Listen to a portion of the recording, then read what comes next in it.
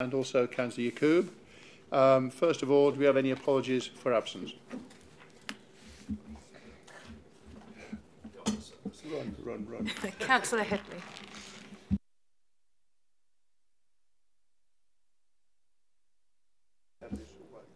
Yes, Councillor Headley and Councillor Sullivan will be here shortly. Thank you. Any declarations of interest, apart from those members that may be double-hatted and therefore affected by being county councillors as well? Councillor Sargent.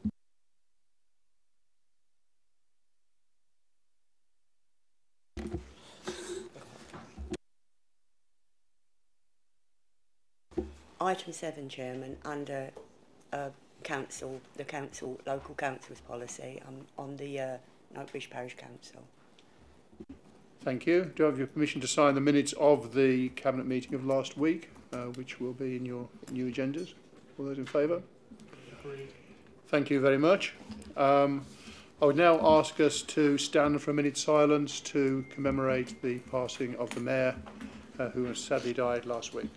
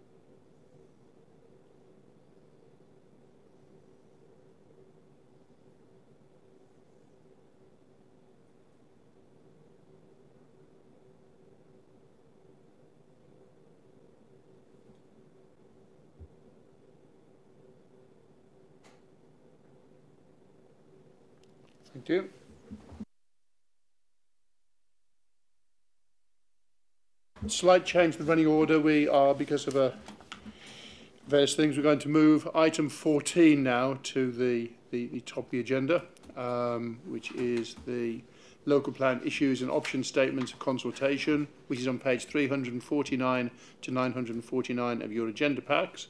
Councillor Moore. Uh, thank you, Mr Chairman. Uh, the, the issues and options regulation stage is the first step to preparing a new local plan and addresses the long-term vision and objectives of the new local plan, plan before a spatial strategy is finished and detailed policies written. A comprehensive 10-week programme of consultation took place last year from June the 27th through to September the 5th. All the responses have been considered and will be used to help inform the next stage of the local plan, which is called the draft local plan.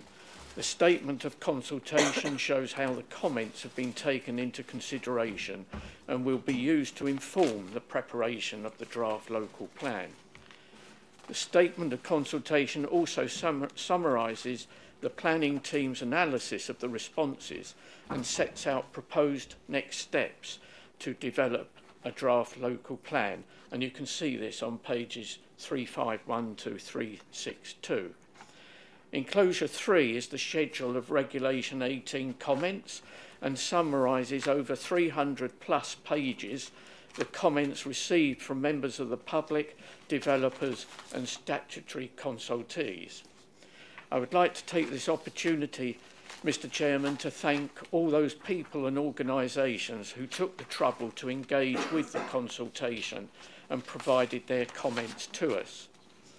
The results from the consultation were presented to an all-member briefing held on January the 25th, not February the 1st as stated in the report, and the statement of consultation was reviewed in detail by the Prosperity Scrutiny Committee on February the 1st. All the responses have been considered and will be used to help inform the next stage of the local plan. This statement of consultation states how the comments have been taken into consideration and will be used to inform the preparation of the draft local plan. Policy officers will continue with the ongoing duty to cooperate and technical evidence liaison with Essex County Council and other statutory authorities for the local plan. We continue, Mr Chairman, to push forward with the development of the draft local plan and we have explored the local development scheme timescales further and therefore we have made significant changes to the local development scheme. I'm pleased to say that our Regulation 18 draft local plan will be prepared this year with consultation targeted for this coming winter.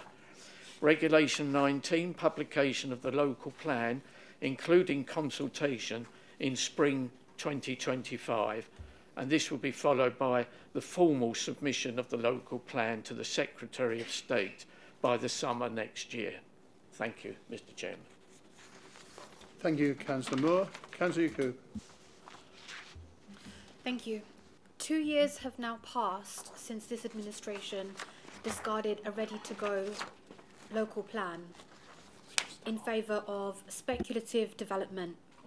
In that time, we have witnessed significant financial losses due to failed planning appeals. Um, we've returned £10 million in regeneration funds to Homes England, and we've received a stern warning from the Secretary of State regarding our dwindling five year housing land supply, which has now been reduced to a precarious 1.8 years. And what for?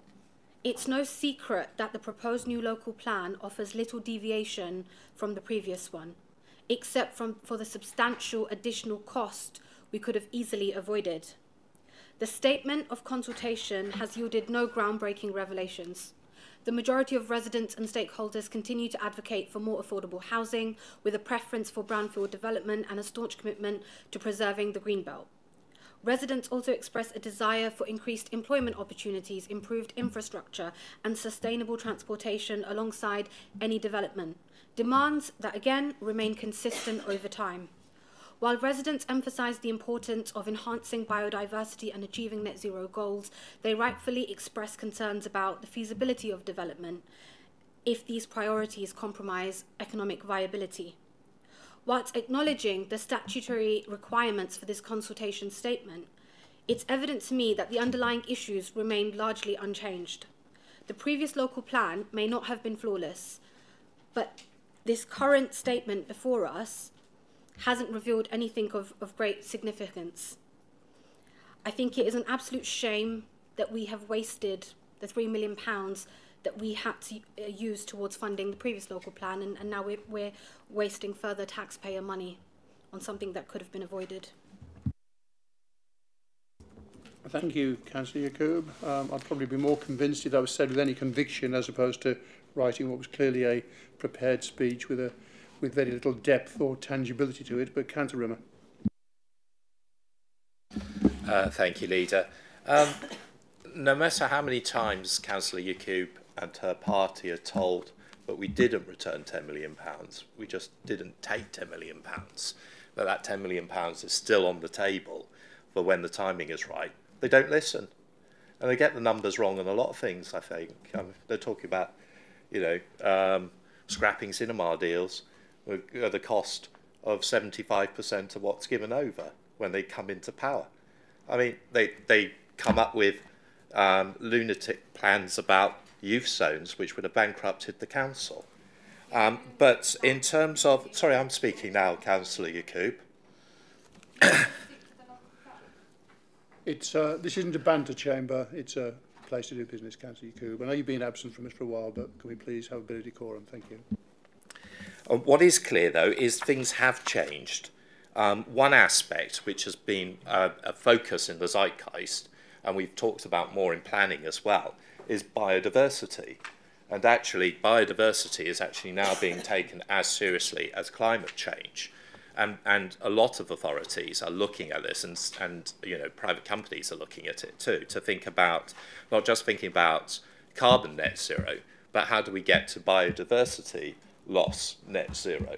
And it's quite crucial here that that has actually been brought up but I think this is a really interesting consultation and it's an interesting set of results that's really up to date um, and really of the time and showing what people today think in terms of the future of this borough and development in this borough and what they see as interesting. Uh, I, I mean, sustainable transport, more cycling uh, lanes, who, who could not agree with that?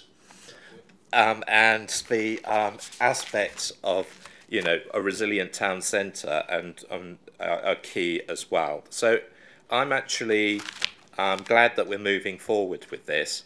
Where I do share some frustration is I think we're stuck with these Blairite planning laws, which are very Stalinist in the way they actually do things. They're very black and white. You either have a local plan or you don't, and it's going to be for 20 years or not. Uh, when actually a lot could have been agreed a lot earlier by both political parties across the spectrum and could have been banked a lot earlier. But we're where we are because there was a Labour plan that was going to rip up people's driveways, confiscate their houses, build on greenbelt, destroy nature, and create urban sprawl. And that was totally unforgivable and not what the public wanted. Thank you. Thank you, Councillor Rimmer. Councillor Moore, did you want to wind up? Uh, thank you, Mr Chairman. Uh, I'd just like to respond to one item that, uh, Councillor Yacoub raised. And she said the new local plan is not different to the withdrawn plan. Well, we don't have a new local plan at this point in time. We've just done a consultation on what residents would like in a new local plan. So th that, that's completely wrong. Uh, so um, I'm happy with that. Mr Chairman, can go to the vote. Thank you, Councillor Moore. The, uh, the uh, recommendation is on page 350 of your agenda packs. Those in favour?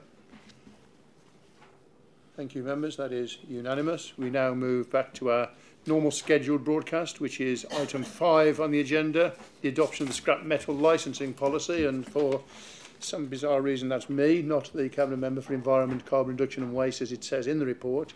Um, this is very much something that's come out of licensing, which you know is one of our quasi-judicial functions, uh, and therefore I am going to defer to the appropriate officer to actually give a, a very broad overview, and also Councillor Lawrence, the Chairman of Licensing, should he wish to add his wise words as part of this particular item. Thank you, Chair. Um, I apologise, I'm a bit cranky tonight, but I'll do my best to throw my voice. So, uh, this is the uh, local scrap metal dealers licensing policy, which is due for review um, and has been out to consultation. It covers the licensing of scrap metal collectors and scrap metal dealers and is designed to ensure that we provide a fair process to those that are making application for scrap metal licences um, operating within the borough. Uh, it's part of the architecture of the local licensing regulation um, and it sets out the local issues and priorities for Basildon Council We have been um, subject to review by licensing committee and it has also been out to public consultation. That didn't result in a, in a significant, um, in fact, I don't think we had any responses or a very small number of responses, but it's actually a very niche um, activity, so not one that we would expect a huge uh, amount of interest in, in engagement. But um, there's been minimal changes to the policy as it stands, largely relating to changes in financial checks, but that's reflected in, been reflected in the policy. Um, happy to take any questions from members. Thank you. Thank you. Councillor Lawrence, did you want to add anything? Yeah, just want to reinforce that. Um, the only changes to the policy is the HMRC uh, tax working um, checks. Um, and the policies, uh, we do this policy every five years. Council is not obliged to actually have a policy, um, but you know, best practice is that we do have one. Um, and um, just like to thank the officers for the report. And uh, back to you, Chair. Thank you, Councillor Lawrence. Councillor Yacoub. No other members have indicated. Oh, Councillor River. No, I just thought on this um, scrap metal, it was quite ironic, really, that we have Councillor Yacoub here tonight. You know, she'd been put on the scrap metal heap, but um, she's now been recycled by the Labour group, and she's back again. Um, I understand that there might be other recycling of other former councillors, um, um, but uh, hopefully with this scrap metal licence, uh, we can be careful and a bit more uh, discreet about the level of recycling that goes on and make sure only quality product comes out the other side. Thank you, Councillor River. And I'm sure we should also be kind. Um, so the um, we we have the recommendation on page 25. All those in favour? Thank you, members. That is item five. Move on to item six, which is the empty homes policy and strategy. Councillor Schrader. Item pages 71 to 107 of your agenda pack.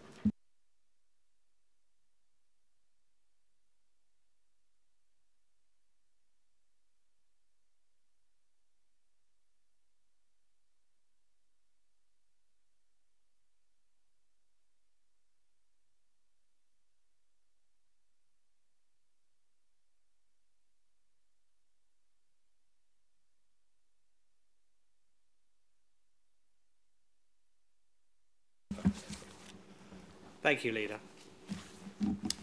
Uh, this item uh, went to place scrutiny uh, a few weeks ago, where members gave it a good uh, kick about. Uh, I'd like to thank Councillor Gascoigne and the members of the committee for their input. Uh, I also reiterate my thanks to Rachel Glover and her team for the work that they've done on this. In a nutshell, Leader, the proposal is that we bring in a dedicated member of staff to work with a probate researcher and the owners of empty homes to explore options to bring empty properties back into use. Now, as I advised the Place Scrutiny Committee, uh, there could be any number of reasons why a home is empty. Mostly they're awaiting the conclusion of probate or have become empty due to bankruptcy, repossession, or something like that. Uh, some have even been abandoned for one reason or another. In such cases, owners may simply be unaware of the different options available to them. So, the basic idea here is that the council can try to assist by, for example, looking at an arrangement to rent out the property through our housing solutions service, or it may be that an empty homeowner needs support in resolving a probate issue with a view to selling the property on the open market.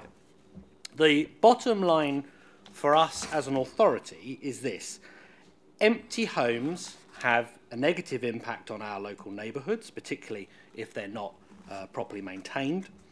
We want to explore options with homeowners to encourage them to bring their properties back into use. There are a range of mechanisms uh, that could enable this, including through an agreement to rent. But this project is intended to work through the options. We can't force anyone to do anything, but clearly it's in nobody's interests to have long-term empty properties just sitting about doing nothing. Uh, we'll be looking at a range of mechanisms within our legal powers to address empty homes and set out within the policy an accompanying strategy are, are some of the uh, some of the levers available to us. But uh, this will be a pilot scheme to see if we can indeed make a difference. As the report says, every empty home removes a property from the housing market, and with it, opportunities for our residents to be housed, first-time buyers to purchase, or those looking to progress on the property ladder. So anything we can do to help move the process along to bring empty homes back into use will ultimately help rejuvenate the housing market in Basildon. Uh, thank you, Leader. The recommendations are on page 72. I commend them to Cabinet. I'm happy to try and answer any questions. Thank you. Thank you, Councillor Schrader, as always. Uh, Councillor Coop? Thank you. I mean, you're talking here about conviction. I mean, you don't even have convictions in your own plans. You're continuously pushing things through and exempting them from call-in so that proper scrutiny can't take place. When the opposition calls for emergency motions to be discussed, they're being thrown out because you don't Councillor have... Coop, Councillor Coop, uh, can you talk to the item? I Oh, don't okay. think this... You, oh, sure, you, sure. you And what. Councillor Rimmer said ar- like around talk the the scrap item? metal policy was speaking Would you like to the talk to the item? Thank yeah, you very much. absolutely.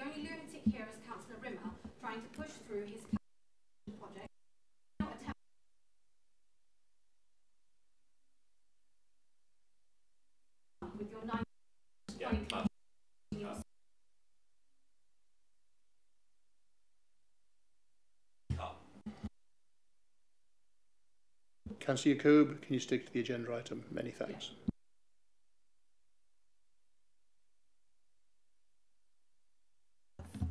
It's worrying to see that there are 156 vacant homes in Basildon, especially when we know that there is such a pressing need for housing in our borough. However, appointing an empty homes officer at a salary of 53,000 does raise some questions about value for money. While it's acknowledged that an empty homes officer will play a role in identifying um, properties and in, in, in order to establish communication with landlords, I think we need to be clear about the limitations here. They will have no powers of enforcement other than the 100% council tax levy, which we know we've already established is ineffective, and the empty dwelling management orders and compulsory purchase orders, which are both um, costly and in terms of logistics, it can be quite challenging to implement on any significant scale. So are we truly convinced that pouring resources into a single officer um, whose authority will largely be toothless is the best approach here? Thank you for eventually getting to the point, Councillor Yacoub. It is appreciated. Um, nobody else has spoken. I don't know if officers or Councillor Schrader want to respond to that question. Uh, yeah, thank you, Leader.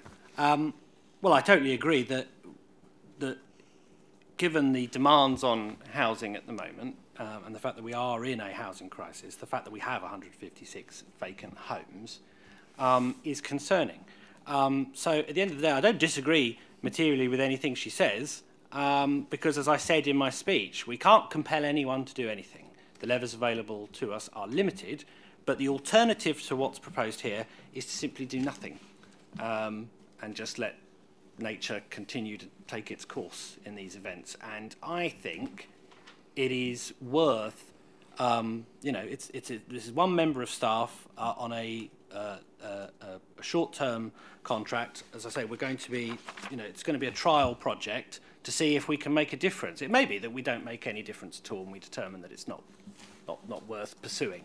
Um, but I can't really see the point in just sort of accepting the fact that we've got 156 vacant homes if we think there may be levers that we can pull um, to, to try and get some of those back into some kind of gainful use. So, I mean, in terms of the, the limitations and whether or not the, the, the office holder will be toothless, I'll sort of defer to the, um, the officers who may, may have a view on on what they think the options look like. I mean, I ran through some of them in, in fairly broad brushstrokes, um, but I think uh, Mr. Brace made the made the good, made a good point at the place scrutiny committee when it was discussed there, which is as things presently stand, if we have a, a vacant property that is empty and has been empty for a while and is starting to fall into a state of disrepair, which is sometimes is the case, it's quite often um, that the the first point of contact we have with these homeowners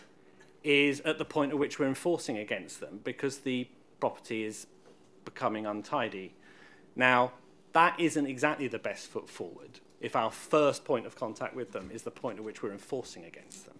So what this officer will enable us to do is to take a much more, a softer, more proactive, more collegiate, for want of a better word, approach where we say, okay, look, what are the barriers? What, like I say, in a lot of cases, it is probate and, uh, and, and things like that, which we can possibly assist with. And that will then head off us getting to the point where we're looking at enforcement action because the site's become untidy. But I'll, I'll, I'll defer to any of the officers if they've got anything that they want to add. But I, I think it's worth having a punt. Thank you. I'll, I'll add to that really, and and uh, I think it just obviously to stress it is a pilot project. So uh, we've certainly not engaged the services of the probate researcher previously, as far as I'm aware, um, and uh, certainly it also creates an element of work around the boarding up or having to deal with the, the, the issues for the impacts on the community. So I think that's the other element that we're trying to combat. Um, so yes, I think we said we've said one year to two year fixed term contract, and we'll certainly keep it under review um, and provide the feedback to members as to how the uh, project is going. Thank you. Thank you. Um, I don't normally have a, a set of banter, but I am going to say something which I will give Councillor Yacoub the right to reply, because I was slightly agog when she starts throwing around salary scales and talking about uh, the salary of an officer from a, a member whose group has consistently stood up at council fighting for minimum wage and saying how people should be paid more and everything else. It just seems completely um, inconsistent now to A, single out an officer that hasn't even been appointed yet and question the validity or the value in their contract, especially when we know that local government pay scales are pretty much set for the job they do and the roles that they have. Uh, and does this mean that County Coombe no longer doesn't believe in the minimum wage or doesn't believe in the fact that people should be paid a fair amount for the job they do? Uh, you do have the option to respond should you wish to, Councillor Yacoub.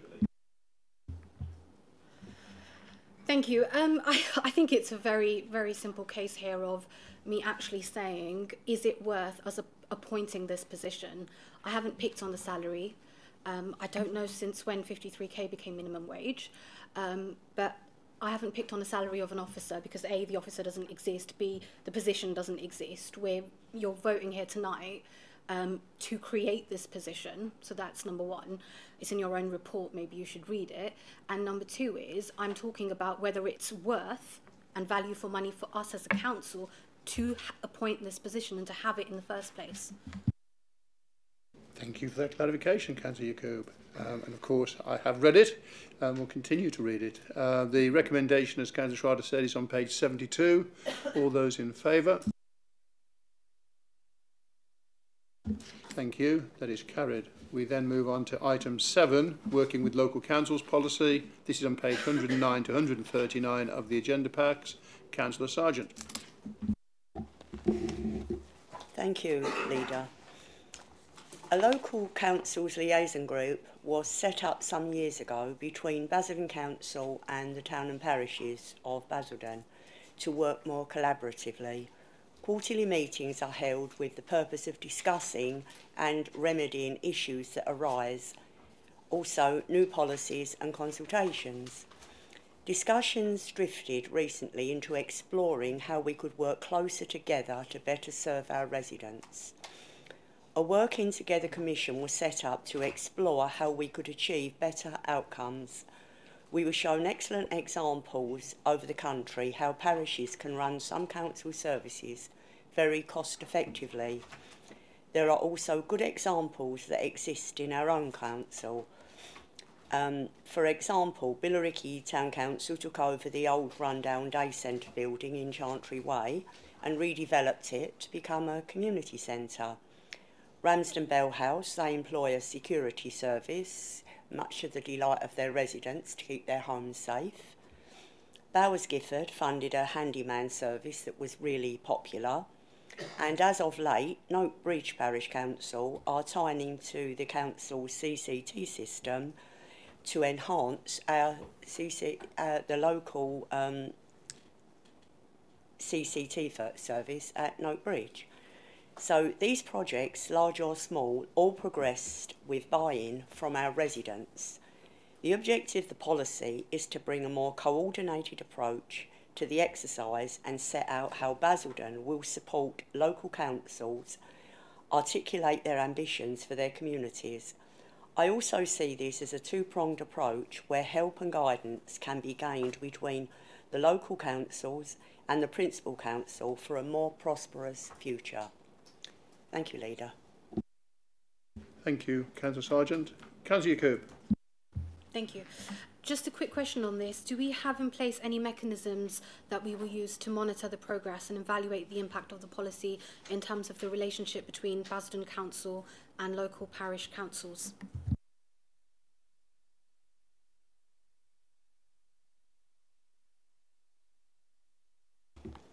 Yes, there will be monitoring um, in place because those there's regular meetings taking place and the policy is very clear in what it wants to achieve. So yes, Councillor Coob, there will be monitoring and we will put things in place to ensure that the project is going in the right direction and um, we'll be pleased to bring it back to Council so that they can see the results of the, um, the working together. Thank you. I think that was a fair point from Councillor Yacoub, and in fact, from my point of view, if you've got a cabinet member that's responsible, then that will actually feed in through the executive function. Uh, and of course, having a cabinet function also means we have scrutiny, and that gives scrutiny the ability to uh, get that sort of information and actually make sure that the policy is working, because ultimately that is the whole point of scrutiny, to um, kick the tyres on new policies to make sure they're fit for purpose, to follow through when the policies are enacted to make sure they're working, and to get feedback and actually provide that feedback to Cabinet to refine and enhance as we go forward. So, absolutely. Councillor Schrader. Uh, uh, thank you, Chairman. Yeah, um, I speak on this item with, with great trepidation because I'm aware that um, the Cabinet member, uh, Councillor Sargent, is herself a very doughty and hard-working uh, parish councillor. Um, and I, I will, of course, be supporting the recommendations as set out in the agenda. Um, and I've worked with, with many parish councillors over the years, and by and large, I think uh, most of them do a pretty good job um, unpaid. And clearly, parish councils do provide a platform for local people to improve their areas.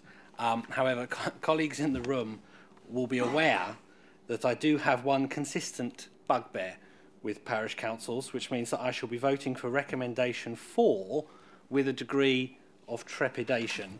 Uh, in 2022, the brand spanking newly created Wickford Town Council held its inaugural elections. They were uncontested. In other words, they weren't elections. We created a new parish council after much persistent lobbying by a number of Wickford residents, and in the event, um, they weren't able to hold elections. So, uh, and, and in fact, last year, uh, one of them resigned and they held a by-election. Again, there was only one candidate, so that was uncontested. Uh, Shotgate Parish Council had elections last year too. They were uncontested. Bowers Gifford and North Benfleet Parish Council uh, 2022 also uncontested. 2021 was a bumper year Billericay Town Council uncontested, Great Burstead and South Green Parish Council uncontested, Little Burstead Parish Council uncontested, Ramsden Bellhouse Parish Council uncontested, Ramsden Crays Parish Council uncontested, Noak Bridge Parish Council uncontested. Um, so the fact is, leader, we, we have seven parish councils in this borough and none of them have held proper bona fide contested elections in, in some years, in some cases more than a decade. So what I do hope that we can do as part of this policy is work to increase a wider public understanding of and interest in parish councils and the opportunities that exist for residents to make a difference to their community by serving as a parish councillor uh, because I honestly can't see the point in creating more if people aren't sufficiently interested to see collection to the ones we already have. They clearly do have uh, the potential to add value and to serve a role for their area, but as things stand, I worry they operate in a rather opaque fashion and of course they're largely unaccountable to the electorate because if you don't have an election, there's no ability for the residents to give that body any kind of uh, democratic mandate. So I think that it, it, we need to work more effectively with our, our parish councils, but I think also we maybe need to do a bit of a job of work to promote what they do, what they're capable of doing, so that people do want to stand for election to them and they can have properly contested elections that allows them to have that, that degree of uh, uh, electoral uh, legitimacy that at the moment I, uh, is a consistent irritant of mine. Um, I could not possibly vote for a recommendation for without at least making that point, but I will be supporting the recommendations, Chairman. Thank you, Councillor Schrader. And I've got to say, I, I have a lot of sympathy for what you say. I mean, the other issue to me, and it's something that does need to be addressed, I think, as we go forwards, we have been very, very cognizant through the budget setting process and everything else about how we as a responsible council need to set a balanced budget and the financial pressures and the difficult decisions we've had to make. And we've also respected the fact that we have a cost of living crisis, that people are, you know, finding it hard in some places to make ends meet, and therefore any additional tax burden is a problem. And yet we are constrained with the council tax that we set to actually provide these valuable and important services. And yet a parish and town council can set a precept, whatever they want, without any form of real check or due diligence as to how that money is going to be spent or the affordability or anything else.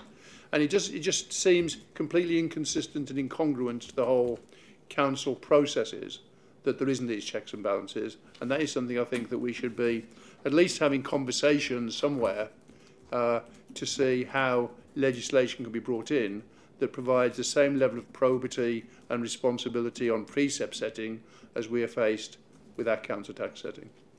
But that's just my view. Councillor River. Yes, I, I think I'm, I'm going to strike a note of discord on this, um, uh, but accord with my uh, fellow cabinet member, councillor sergeant, I hope, um, I, I actually do feel they're accountable. I mean, you don't it, just because um, accountability when you've got monthly meetings and the members of the public can turn up and actually ask questions of them makes it accountable. and and that's what's happening in a lot of parish and town councils in this borough. Um, in, in particular, I've, I've got a good experience of Bowers Gifford and North Benfleet Parish Council and how they actually interact with members of the public. Um, no, I, I'd, I'd also question the legitimacy aspect because notices of elections are posted. People have those vacancies available to stand. Um, it's not, you know, it, that doesn't make something illegitimate. People don't stand. It's not Russia where people are being thrown out of windows at the threat of standing. That's actually people are probably generally happy with the service that they're getting, which is apolitical parish councils. I actually prefer it if no parties are involved with them at all, to be honest with you, um, and that they're just coming from residents who are. It's a nice feeling when you know it's just residents who care about their locality that are dealing with the locality, and there's no stupid politics involved, you know, about not making common sense decisions, like putting in a motion to council one moment and then coming up trying to put in a council motion on an emergency basis to reverse it the next. Of course I am. Councillor. Councillor Yacoub, it's a pleasure to have you here, but try and behave. Thank you. Um, I have missed you immensely, um, like a hole in the head. Um, we have the item uh, for discussion. Councillor Sargent, do you want to sum up? Thank you, Leader. Um, I thank Councillor uh, Schrader for his comments, and they're quite, they're quite right. What he said is absolutely true, and this is why I think one of the reasons that we do need a policy we do need a way of working together because for too long, um, and, and you've sat on the uh, local council liaison committee, and, that, and that's where my experience is as well, because I've sat on there for quite some time as well. Along, and, and Richard Moore chairs that, um, Councillor Moore chairs that committee now. What we are lacking in is the, um, the parishes and the work streams that it takes on and the delivering of services to the residents. And uh, some of the items that, and, and this has been quite a process that we have been through. You know, as the report is very clear in what it says, all the the discoveries that we've, you know, that have come to light over the year, where the other councils all over the country have been doing certain things, we've been doing certain things ourselves. But this thing with elections is, is pretty bad, and that's why this policy may well set councils on the track to delivering the services and budgeting properly for them rather than, um, you know, a finger in the air as to what the budget is going to be. When I took over the Noak Bridge Parish Council, I set it up many years ago and when I, I, I got involved and uh, set in 2016, it was because it was in total, total disarray. And I think Councillor Malcolm Buckley, that used to um, sit on this council, he was always complaining, particularly about precepts and about non-contested elections. And also, what you're, what he was he was complaining about as well is, uh, which is my complaint, is that you've got clerks working, and if you looked at the if, if you looked at the budgets, there's so many administration fees that are being paid to clerks, which are going up and up and up because there's the work as the work streams according to them goes on, but then so does the so does the wage bill. Now, obviously, um, we've had a few clerks at Noak Bridge. They've not been successful. So I've been acting clerk, um, and obviously I don't get paid, and we've accumulated quite a sum of money. But that sum of money has been invested in a neighbourhood plan, and they are pretty pricey, as I'm sure officers in the know will um, be quite clear on. You need to employ consultants, but it also means that you are involving not only your councillors and steering groups, but you're involving the community. And I think that is another thing that is lacking within parish councils is that they are not going out like we do to the electorate and speaking to them and getting them involved. And that's why I am in favour of this policy that it will draw to the attention and it's something that we can work together on is what can we do together with the principal council to get those councils to work in in a better you know in a better way and a more effective way cost effective way. And on the point that you raised leader on you know the cost of living crisis yes you are absolutely right. And and people do. They bring up the tax all of the time because it is added tax. That money should be there to enhance the services that the people have. It shouldn't be there as um, just to pay a wage bill for a clerk or for unnecessary services. And that's that's what I hope this um, this policy aims to achieve. And as we go past the year as you've said yourself leader this will this will you know, it will be written into the minutes. And I and maybe we can you know put that into a recommendation that that's one of the things that scrutiny will look at you know possibly halfway through the year as to how this how effective this policy is becoming and how effective our councillors are becoming because that's the whole um, that's the whole purpose of putting this policy together that we've got groups of elected people or uncontested elected people that are running services for people that they can benefit from. Thank you, uh, Councillor Sargent. The recommendation is, on yes, page 110. All those in favour? I'll be with tribulation. Thank you, members. That is moving on to item 8, Financial Inclusion and Resilience Policy. This is on pages 141 to 164 of your agenda packs. Councillor Sullivan. Thank you, Chairman. Um, this policy has been scrutinised already by the Scrutiny Commission. It's a policy that was introduced during COVID uh, to ensure that the Council uh, leverages its uh, contacts, experience and influence in helping to guide people um, to available financial and practical help, uh, particularly those on low incomes. Um, it will uh, aim to work in, the policy will aim to work in partnership with such organisations as the BBWCVS, the Basildon Billericay Wickford Council for Voluntary Services. Will aim to uh, access grant funding where that is available and it will also aim to work with and create opportunity for local businesses. Um, I think that's pretty much it in a, a, nutshell with regard to the broad principles of it, Chairman. But, uh, happily happy to take any comments or questions. Thank you. Thank you, uh, Councillor Sullivan. Councillor Yacoub. Thank you. I mean, there has been a repeated lack of progress and innovation in this administration's approach to addressing the cost of living challenges that our residents are facing. This administration has continued to rely on the same tired strategies, resulting in a policy that fails to offer any meaningful solutions to our struggling communities. The reality is that while this administration touts its efforts to signpost support and benefits, or my personal favourite, when Councillor Rimmer condescendingly tells residents that they just need to learn to manage their money better, maybe you can put on some lessons after you lose your seat in May, Councillor Rimmer. These actions alone are insufficient in addressing the increasing levels of deprivation in our borough.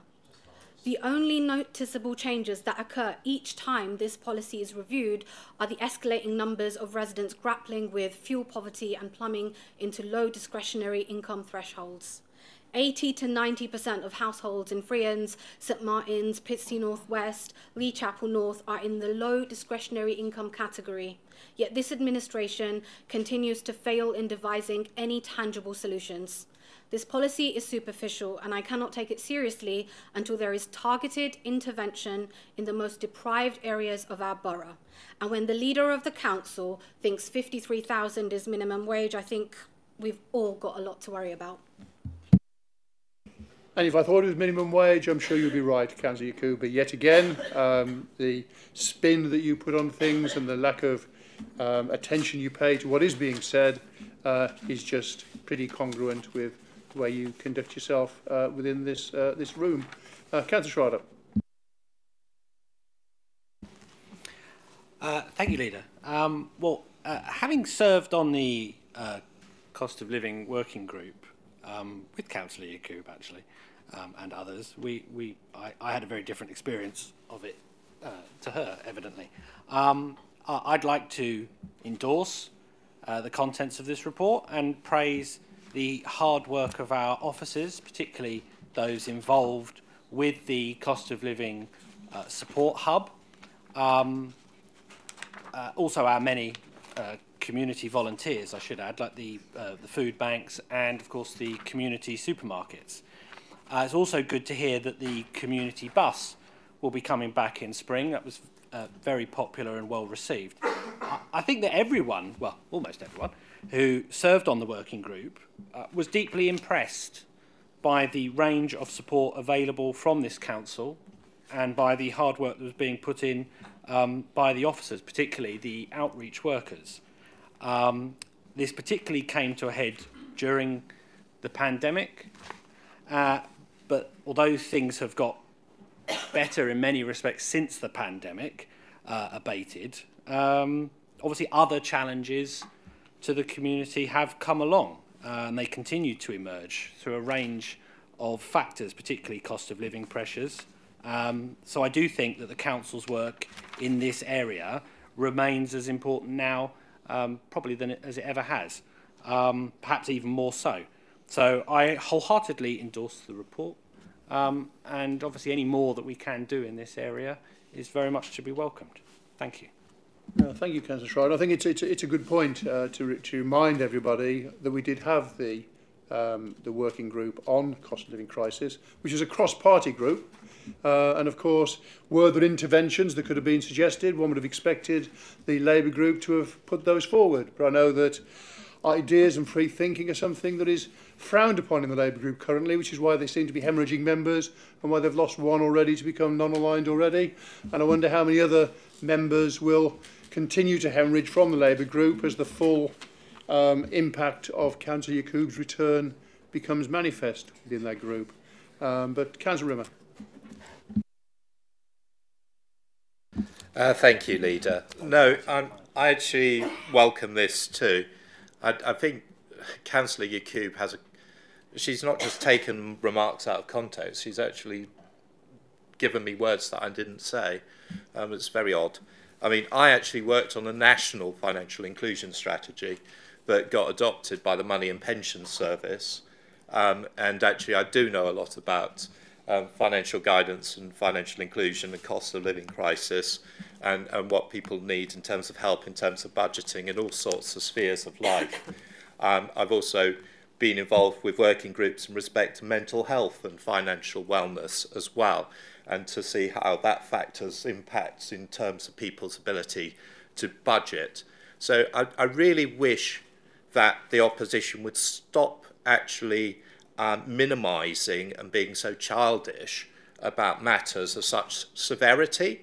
These issues are affecting people on a daily basis um, in terms of whether they can actually afford to pay um, for school clothing, whether they can afford to feed themselves as well as their children. And um, you're actually, you know, minimising it, and it's not, it's not right. Um, I take that very seriously indeed. Um, but I agree with what Councillor Schrader said. I agree with what Councillor Sullivan has said in terms about the breadth of services here. And, and the council's playing a good role in terms of curating that and trying to make it low friction in terms of the contact points for it. Because if you having that wealth of services out there can also be confusing and you want to go, well, where do I go to first? And so, actually, when you're already under stress financially, and you're probably already, um, you know, vulnerable because of that financial stress, it, it, it's a real service, and it ca- has to be credited that you can actually give people that pathway to a curated service that will help them most relevantly in their needs. So I, I'll be voting for this. Thank you. Thank you, uh, Councillor Rimmer. Councillor Sargent. Thank you, Leader.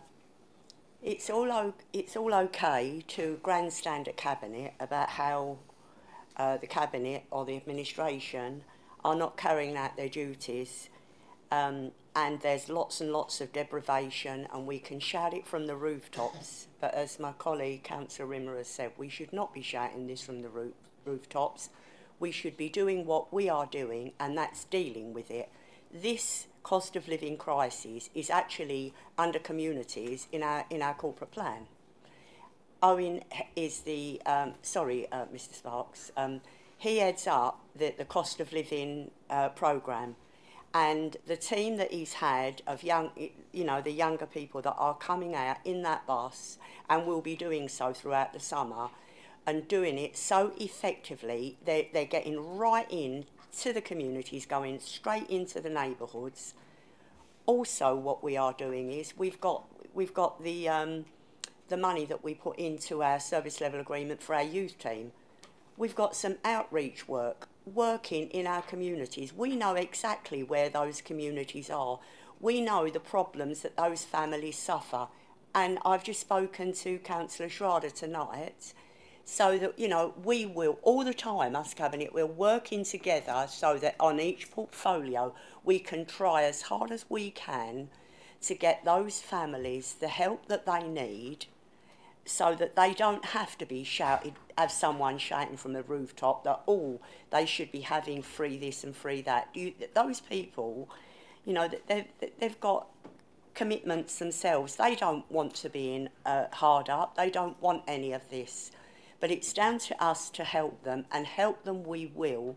And as I say, as soon as, you know, that will go through, it's going through scrutiny, the corporate plan, and we will ensure that those people get the help we need. Obviously, though, the money is not that there that we can give everybody what they want, but at least people are not going totally without. Thank you, Leader. Thank you, uh, Councillor Sargent. Councillor Sullivan, did you want to wind up? Yes, thank you, Chairman. Um, I thank my uh, Cabinet colleagues for their, their words on this. Um, they, they gave a bit more uh, context to uh, the actual policy that's in the report. Um, just to address some of Councillor Yacoub's uh, points, I think that the fact the existence of this policy is testament to how serious the Council takes uh, the difficulties that some people find themselves in the current economic climate. So the fact that we have this policy uh, shows that we are making our best efforts to help alleviate those problems. Um, I would add that we, in the last budget, increased the hardship payments uh, fund by £50,000 um, to assist people uh, who fall behind with their rent.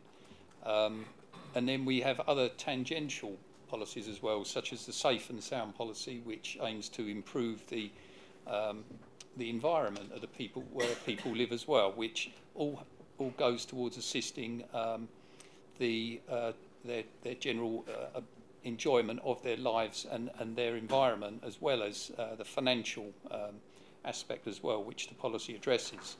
Um, but the policy follows the conservative principle of a hand up and not a hand out. It's there to assist and guide people and small businesses to uh, um, to other areas that might give them um, help. And I would just uh, uh, finish by saying that if Councillor Yacoub or any of the Labour group think that we should increase financial assistance, then they had their opportunity to do that by um, giving us an alternative budget at the last yeah, budget meeting where they could have told us what to do with the money. So other than that, Chairman, um, I'll, Can we go to the vote? Thank you. Thank you, uh, Councillor Sullivan. The recommendation is on page 142. All those in favour? Thank you, members. That is carried. We move on to the Culture and Creative Industries Strategy. This is on page 165 to 226 of your agenda packs. Councillor Henry.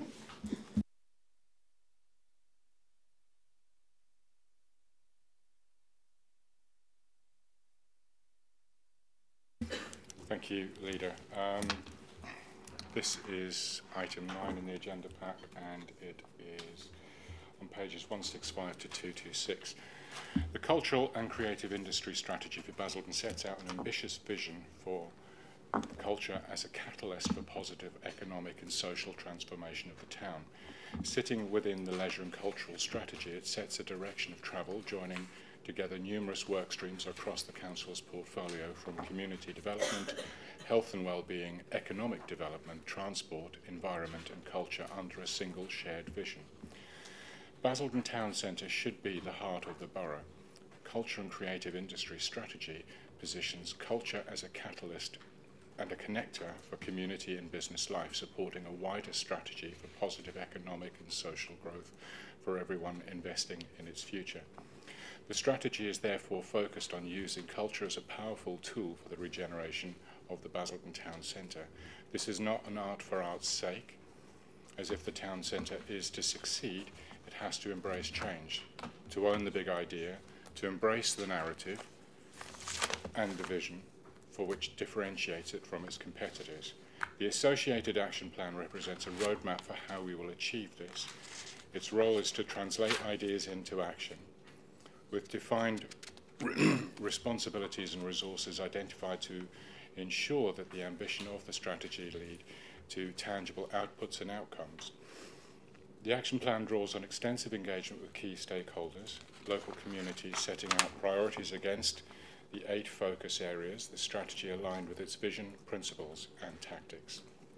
This is not a strategy that the Council can deliver in isolation, but is one that I'm proud that the Council is driving alongside our partners and our communities.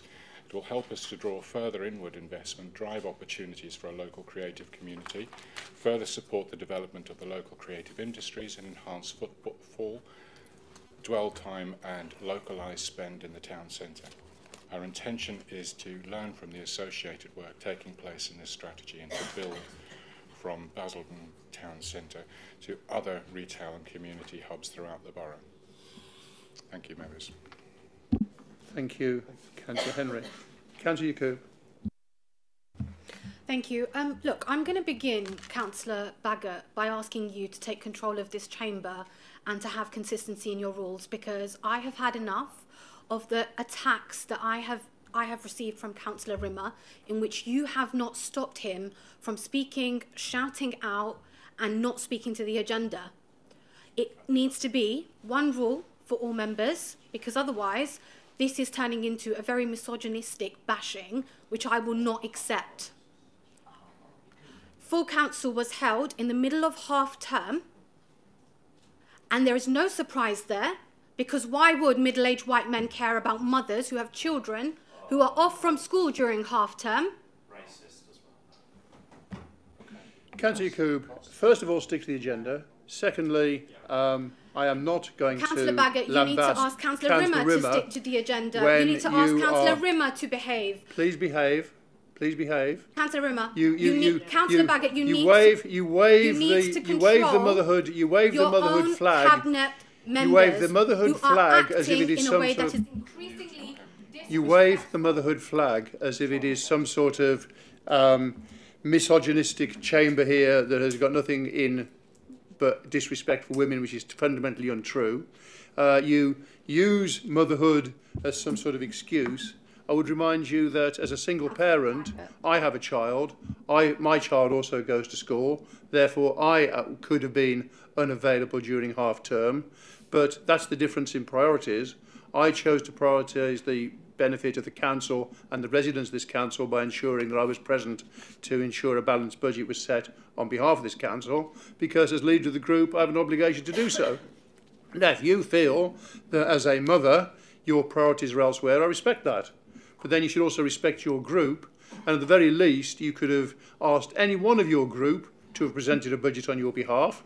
Uh, if you were even remotely uh, working as a leader, you would have a shadow cabinet, and therefore you would expect to have a shadow cabinet member for resources who could have actually presented a budget to the people Councillor and shown the people Councillor I don't what need you you to expected teach to me do how to do my at full job. council. What I need you and to do is take that would have control then of your member that would have then reinforced the fact that when you put out leaflets currently showing and telling the electorate blatant lies about the policies you're going to Councillor enact Baggott. when you haven't actually costed it or actually presented a budget allowing you to do it. So we're not going to take any lectures from you, you endorse and your false narrative, Councillor Yacoub.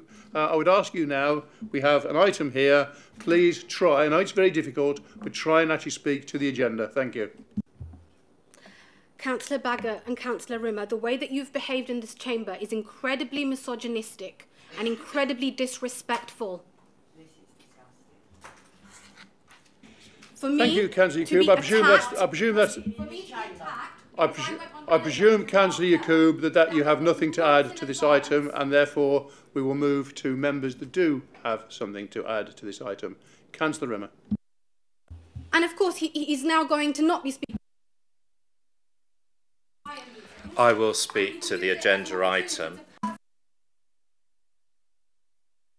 Councillor Rimmer, please don't attack Councillor Yacoub, who is very sensitive and, and, and deserving of our respect. Here we go. as is- Calling women as is- sensitive when they is- speak up to say that is you- what you're every doing single, is as is every single member of this, as is every single member Here of we this go. chamber. Misogyny So, thank 101. you. Misogyny 101. When a woman stands up for her So, moving back to the agenda item, um, I'm, I'm going to talk to the draft culture and creative industries strategy, if I may. Um, I actually think this is a great paper, um, and obviously um, we can see that with the murals that are in the town centre, and there's an element of AR with those that you can actually scan them with your phone and they start moving and all sorts, and it's quite interesting in that aspect. But we've got that arts culture grant as well for the Creative Digital Tech Hub, and obviously we're looking to create, um, you know, something very special there um, that is actually going to potentially create pop-up businesses, uh, new enterprises, new entrepreneurs um, in that creative tech space and create this creative tech town. Um, it was, you know, um, you're not. Um, I some people have taken my words out of context or changed them. I think some newspapers have done so recently, and I've been quoted as wanting to turn uh, Basel into Berlin. Uh, but I think I was just saying there's some examples there that we could actually look at in terms of where we could actually transform um, the town centre in terms of creative tech enterprise um, to create that creative tech town. Um, so um, very excited about this and happy to um, endorse this. Thank you. Thank you, Councillor Rimmer. I would, I would actually endorse what you say. I think this is this shows a breadth of vision for what we want within the within the borough. Um, for a long time, culture was uh, under all sorts of different political spectrums quite actually hidden, if you like, as far as a, as a priority. And even in this time where we are actually having to cut our cloth accordingly, I think it's important that we recognise the benefits that having a cultural and creative strategy can bring, both to the economy, to people uh, in general, and to communities. So I think it is something to be applauded. And for the record, um, Councillor Yacoub will be familiar. We do have a standards policy. I think that she has actually, in fact, um, been a, a recipient of a finding from the standards board itself. So she feels that I've been misogynistic in any particular way, uh, we have officers here and we have members here. Please feel free to put in a standards complaint about me, and I'll be very happy to respond to that complaint for any uh, claims that she wishes to make, which she's totally entitled to do as a member. I've not got anybody else wishing to speak, so it's Councillor Henry to wind up. Thank you, Leader. I just want to um, check with the principal officer to see if there's anything that he would like to add before we take it to the vote? Uh, thank you, Councillor. Yes, um, I'm pleased to be able to have brought this here today. It's been uh, much work over many years, working with numerous partners and across different service areas. Um, I um, think the organisation should be very proud of the difference we're seeing now in uh, cultural opportunities in and around the borough, and we really hope that um, the this strategy, should it be adopted tonight, can really drive um, forward the cultural opportunities, specifically uh, in Basildon Town Centre and learning further and wider all around the borough from there, working with numerous partners, um, most pertinently our uh, very grateful for our colleagues at the Arts Council who continue to see us as a priority place for their support and investment. So thank you. Thank you, Leader. Um, I would like to, to, to thank Grant and Jim Sims and all of our other officers that have been involved in this, and also the, the countless different organisations that we've met with over the period of time that this has been rattling around. Um, it's nice to actually get it to, to Cabinet. We did take it to place, uh, no, um, can't remember. We took it to a scrutiny committee um, a few weeks ago as well. Um, so the recommendation is on page 165. Thank you, Leader. Uh, all those in favour? Thank you, members. We move to item 10, the designation of parks and countryside sites. This is on page 227 to 251 of the agenda pack. And again, this is Councillor Henry. Thank you, Leader. Um, I'm not going to go on terribly, terribly much about this, but there were a few points I did want to pull out of this report. Um, and, and preface it by, by saying that the Council's Corporate Plan 2327 includes a commitment to continue to enhance the borough's parks and open spaces in order to improve the quality of life for residents. Um, and this follows a consultation with Natural England, which has identified um, several areas across the borough. Um, those areas are Giddings Copse in Wickford, Nevendon Bushes in Burnt Mills, Noak Bridge Nature Reserve in Crouch, Norsey Meadow in Billericay, St Nicholas Church Hills in Langdon, Cranes Farm Nature Zone, uh, Nature Zone, which is at the rear of um, and Beauchamps Meadow, which is also in Wickford. Um, many of these sites, or some of these sites, are already considered to and probably referred to as local nature reserves, um, but they don't actually have any proper standing. Um, Local nature reserves are a statutory designation made under Section 21 of the National Parks and Access to Countryside Act 1949 by principal local authorities. Natural England's Accessible Natural Green Space Standards recommends at least one hectare of statutory local nature reserve should be provided for 1,000 population. In 2021, it was estimated that the population of Basildon was 187,600, therefore requiring of us that we have 187,600 hectares of land designated as a local nature reserve. We are some considerable distance off that um, at 113, and tonight's um, tonight's paper will take us considerably closer to that. Um, the designation to LNR status will offer protection against future development of the seven sites, but could also prevent opportunities or present opportunities to designate further um, development, uh, further sites such as LNRs and potentially um, sites of specific scientific interest. The designation as a local nature reserve will ensure that they are managed in a manner which is sympathetic to wildlife in order to maintain good habitats and in turn retain their status as LNRs. Am I boring you? No, not at all. Good, good.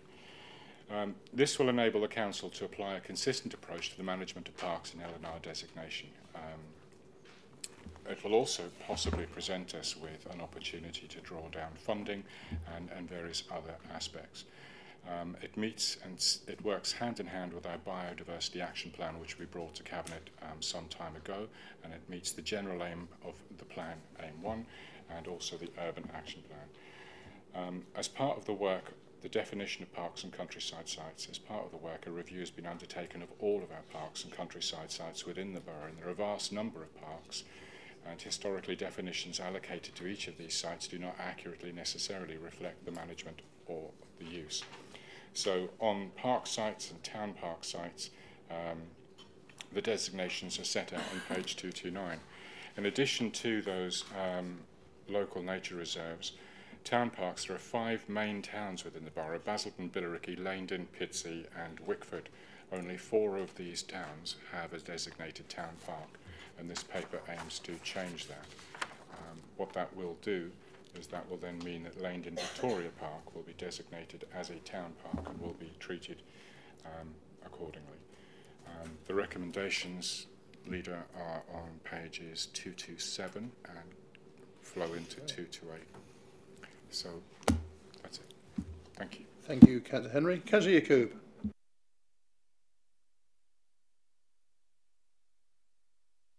Thank you. Councillor Schrader. Uh, thank you, Leader. Um, I just want to praise uh, Councillor Henry for the work he and his officers have done on this. Uh, as a former Langdon resident myself, I have to say I'm pleased uh, in particular to see Victoria Park formally designated as what it has always been, which is the, uh, the, the town park for Langdon. It's long overdue recognition that gives Victoria Park parity of esteem with our other town parks like Gloucester Park and Lake Meadows. It's also gratifying to see Norsey Meadow recognised as a local nature reserve. I think this underscores uh, this administration's commitment to protect wildlife sites and wildlife corridors, and our residents, uh, we know, hugely value their open spaces, and it's vitally important that we support them across the borough. Thank you, Leader. Thank you, Councillor Schrader. Councillor, sorry, Councillor Sargent. Thank you, Leader. I too um, welcome this report and give thanks to Councillor Henry for the work that's been done on protecting those areas that's most important to not, not just the council but our residents. These places are very, very widely used by residents. But not only that, a number of them are also um, have the help of volunteers. They, they go in as groups, maintain them, and um, it saves the council. They work along with council officers, and I had the pleasure in attending um, a recognition day last year with Councillor Henry, where all the volunteers came along that, that do most of the, you know, the volunteering within these kinds of areas. Because without them, you know, at least they go in and clear up the rubble, clear the ponds out, do all that kind of stuff. So I mean, this is something that we should be really proud of. It, it, you know, we've now protected those areas, and it's obviously it's great for me because I live in an area where there is a nature reserve and the beauty of it for us is, is that we can now put in our neighbourhood plan that we have a designated Noak Bridge Nature Reserve. So thank you, Councillor Henry. Thank you, Leader. Thank you, Councillor Sargent. Councillor Rimmer. Uh, this is also quite poignant for me as well because where we're going into the policy and talking about rewilding, I just remember my former late colleague Luke and how he brought in the pollinator policy. And some of this is obviously a continuation of that. And, and it is nice to see in our parks now areas that have been set aside for insect life and pollinators in particular. Um, we've seen that in the Jubilee Park next to Northlands Park as well, in a special area there, and the signage going up and I think it's good to see this continuation of this throughout the borough. Thank you, Councillor Rimmer. Um, we have another speakers. Councillor Henry, would you like to wind up? Thank you, Leader, and I, I thank members for their, their um, lovely comments about the work that our officers have done on this. I do want to um, acknowledge, um, as Councillor Sargent has said, the incredible work and incredible dedication of our volunteers that, that, that run our parks and work in our parks and are so collaborative with us as, as councillors, as cabinet members and with our officers. Um, we genuinely couldn't do it without them. Um, their determination and their commitment to their local area and their passion for doing it is amazing. They, like our officers, are out in all weathers, um, quite often dragging grandchildren along um, for the ride as well. Um, in particular, I do want to thank my officer team, my parks team. Um, we have uh, Rob, Glenn, Ian, Tracy, and Josh in particular, and and also um, Mr. Paul Brace for for recruiting and and giving me one of the best teams I've ever worked with, ever in any capacity. So a huge thank you. Um, the recommendations, uh, leader, on page 227 um, to 228. All those in favour? Thank you, members. We move to item 11, the grounds maintenance service future options. Councillor Blake. Thank you, Leader. Uh, before I go into this, just want to say a, a, a few words, and I don't wish to embarrass, embarrass the officer at all, but um, I've worked with uh, Paul Brace now for oh, too many years, you'd probably say, but um, uh, for a long period of time, worked very, very closely with him Um, people say you shouldn't have a member office of friendship, uh, and I accept there's always got to be that distance, but if, if you're going to have one, then I think that we've got it and had it. Um, and I have to say, when he's gone, and when I may have gone, uh, we, I, I'm sure we will continue to have that relationship. Uh, um, we doesn't mean to say that it's been an easy run for us. We've had our moments where we've uh, we've challenged each other quite considerably, and that goes back to distance uh, when we had Gary Edwards here as well. So it's been an, a marvellous uh, working relationship, uh, very professional relationship, um, and probably one of the best officers I, I've certainly ever worked with. Uh, um, by, by, by long score. That's no disrespect to any officers, I have to say. And we've got some great ones coming up before. Better get that bit in. Um, even when I go on holiday, I try to get away from him, though, so I do need a break every now and again. I go to Villamore, and there he is. So he, he was with his family, and I was with the lads. But, you know, we did meet up and have a, uh, have a, have a little chat. So it's been great. Whereas most blokes, sometimes they send each other things they really shouldn't do on WhatsApp. Paul and I very sadly sending things like pictures of rib, rib of beef before they cook it or after they cook it for Sunday dinner. So we've got quite a sad relationship when it comes to that. But just want to put it on record, my, my thanks, tremendous thanks uh, for him. I know he's still here for a while. It's my last chance to say thank you publicly for it. Uh, and, I, I, I say I can't, couldn't have wished for a better officer with the support that you've given me um, as, as well as my wife, actually. You know, and I think you've, you've said before there's two, two council, there was two councillor Blakes, there was a nice one and there was me. So, um, so she appreciated that. So just want to keep that on record before going to the, the minute at the moment I wanted to. Okay, I'll get on to the serious business now, although that was quite serious. Um, this, this report uh, details the work that has been undertaken to date towards the future of Basel Ground Maintenance Service. Following two rounds of discovery with members, the residents and the parish and village councils, an officer and cross-party working group was established to look at the future options for the service. This report includes the revised specification which these groups have been working on and the options which the working group have recommended to take forward for detailed cost analysis. This specification was reviewed and approached endorsed by the Place Scrutiny Committee following work to establish the detailed service, delivery models and cost, cost works. There will be further reports to future Cabinet meetings to decide upon a delivery method moving forward. The existing services will run until the end of March 2026.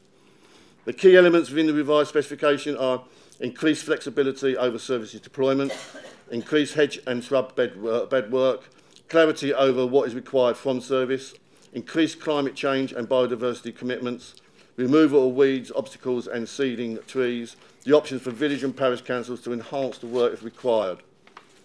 The member working group has asked for this specification, uh, if agreed, to be taken forward and looked at the following ways of delivering this service.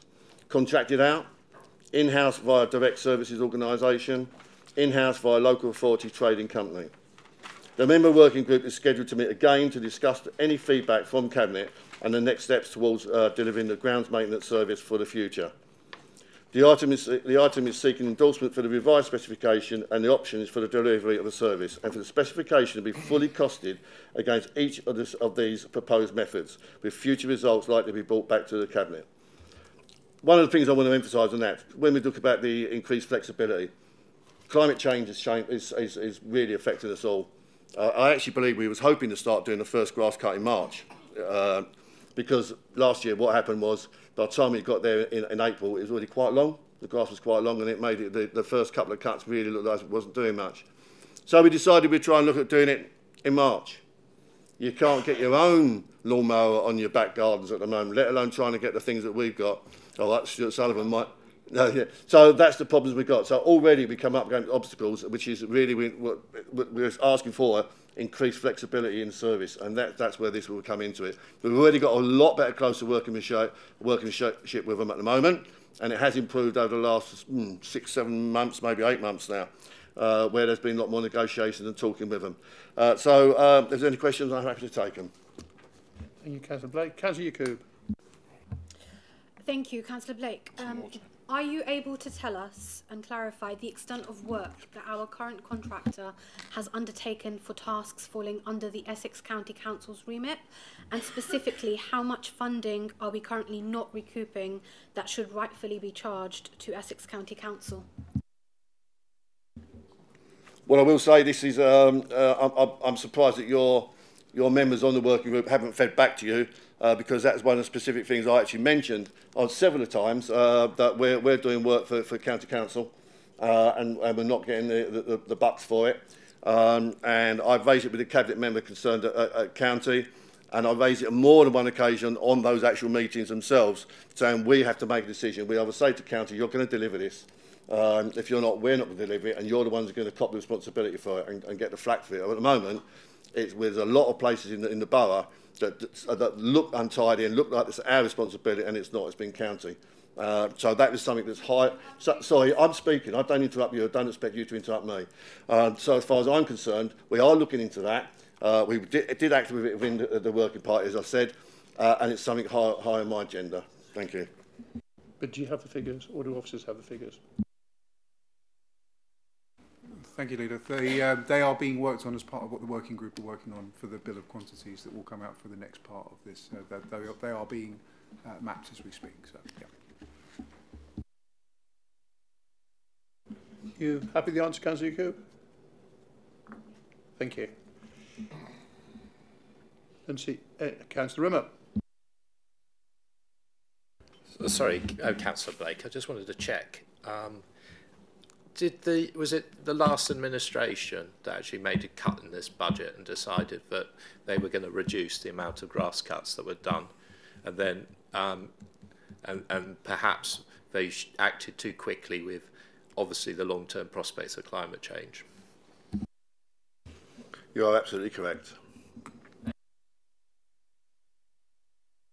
Councillor Blake, do you want to wind up? I'm happy to go straight to the vote. The recommendation is on page 254 of your agenda packs. Those in favour? Thank you, members. We move on to item 12, the Basildon Sporting Village swimming pool floor replacement. This is on page 323 to 337 of the agenda packs. Councillor Henry. Thank you, Leader. Um, this report seeks Cabinet's endorsement of the plan that Sports and Leisure Management, or SLM as we call it, would like to progress for the would like to progress with the replacement of the movable swimming pool floor at Basildon Sporting Village, as the current one is beyond economical repair. The, pr the proposal is for the replacement of the movable floor to be funded from the building's life cycle account that the council holds on behalf of the operator, SLM, to ensure that the facility remains in an excellent condition throughout the duration of the contract. And although the funds within the life cycle account belong to SLM, Cabinet has to endorse, um, or Cabinet endorsement is sought due to the significant expenditure that is required. Um, the works will commence in April 25 and this will enable the payment schedule to be divided over three years to further help reduce the risk of depleting the lifestyle, uh, the life cycle account. Um, I don't have a great deal else to say on this at the moment, other than the fact um, that the recommendation can be found on page 324. I think it's fairly boilerplate. Thank you. Thank you, Councillor Henry. Councillor Yacoub. Thank you. Um, I've just got a few questions. What is the primary function of the life cycle account and will utilising the funds from this account potentially put the building at risk if other priorities suddenly arise? How will the introduction of the new movable swimming pool affect the overall revenue, the sporting village? The report highlights that there's a missed opportunity for income generation from swimming galas. Can you provide more details on the potential financial gains the sporting village will experience once the pool is operational? And during the construction of the new pool, what arrangements will be made for current users of the sporting village, including children who regularly attend swimming lessons there?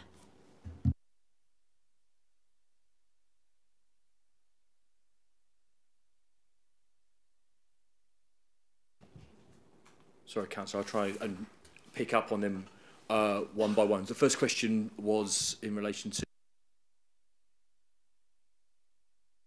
Yeah, sorry, thank you. So the life cycle account is um, SLM is part of the contract that SLM um, or the, the winning provider of, of when that contract went out um, um, put money into a life cycle account over the period of the contract for um, the council to hold and for them to draw down their money um, to ensure that the the building remained in tip-top condition throughout the period of the contract.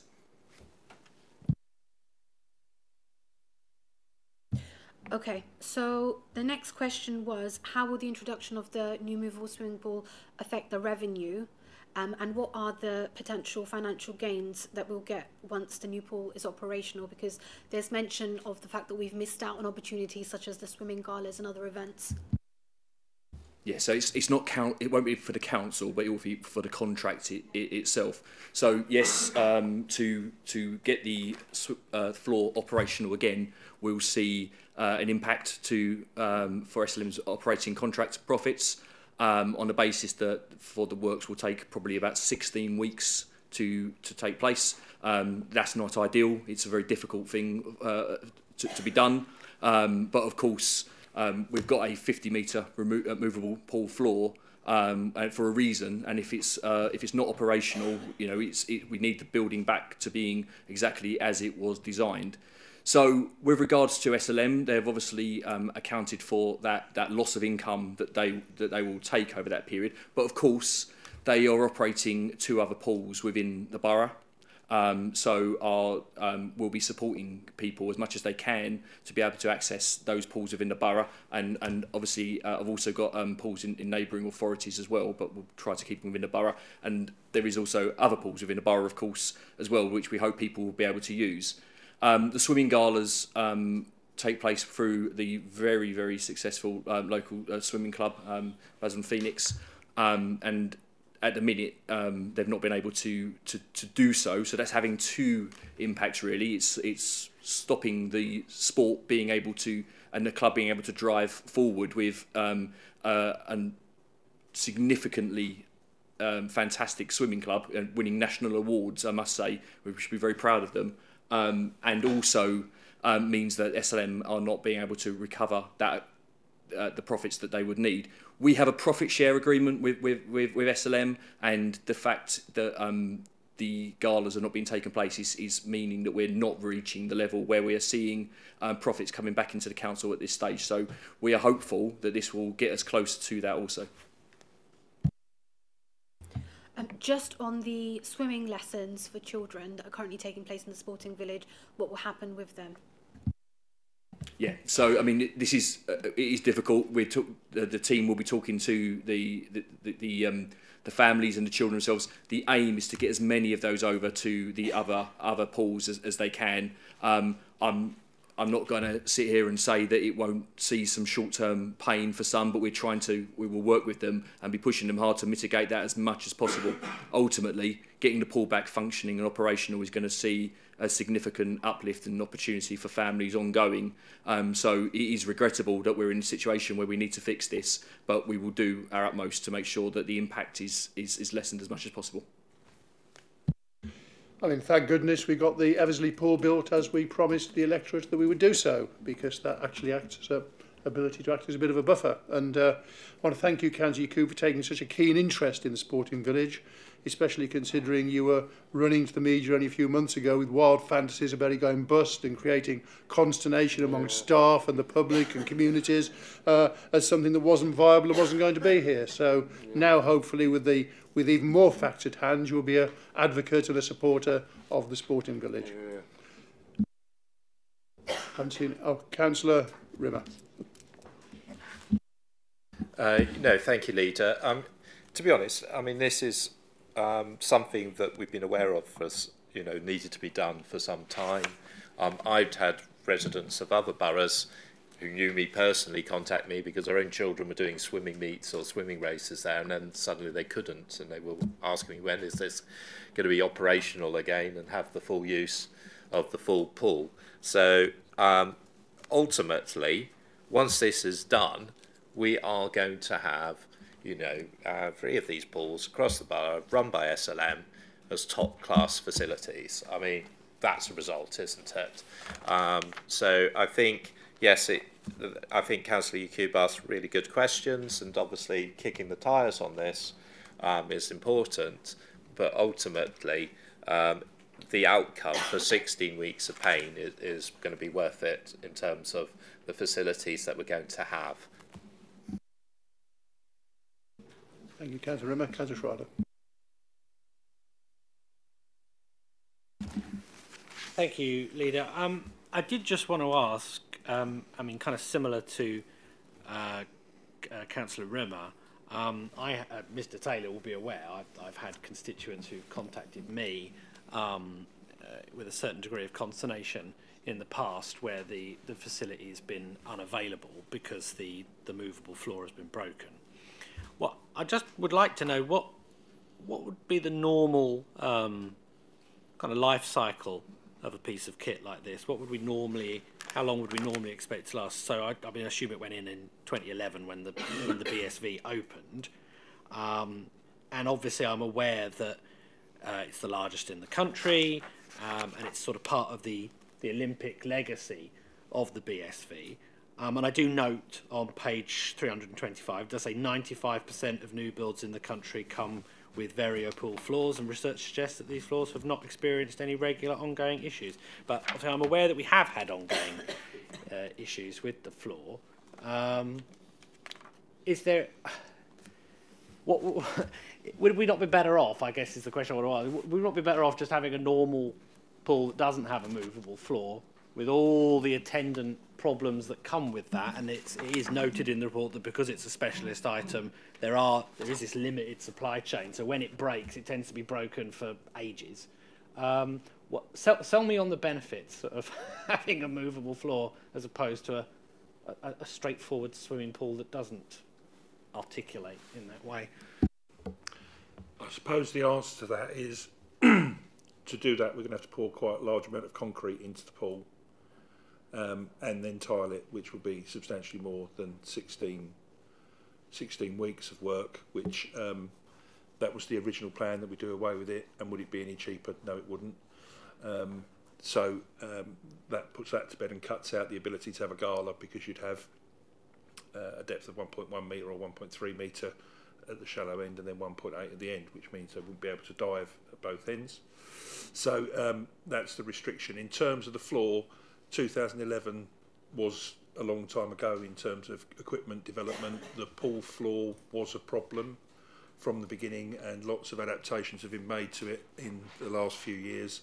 It's at a point where they're frightened to move it now, and it will become dangerous. So it was technology that worked.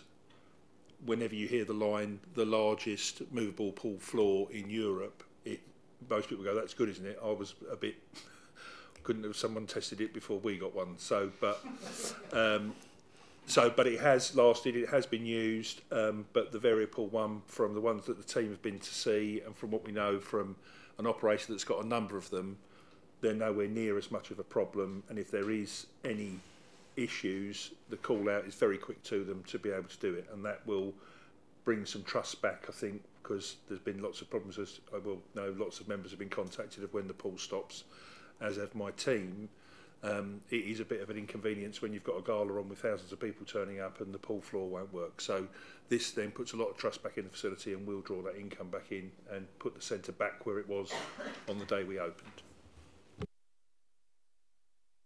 Councillor Henry, would you like to wind up? Thank you, Leader. Um, I don't, I don't know if we've got a, a facility in this borough that actually we managed to get more out of. It's got so many different things going on all the time. Um, with so many different organisations using it, so much excitement around its use. Um, I think we, we, you know, we have a fantastic working relationship with SLM. They're a really, really, really good, a really good partner.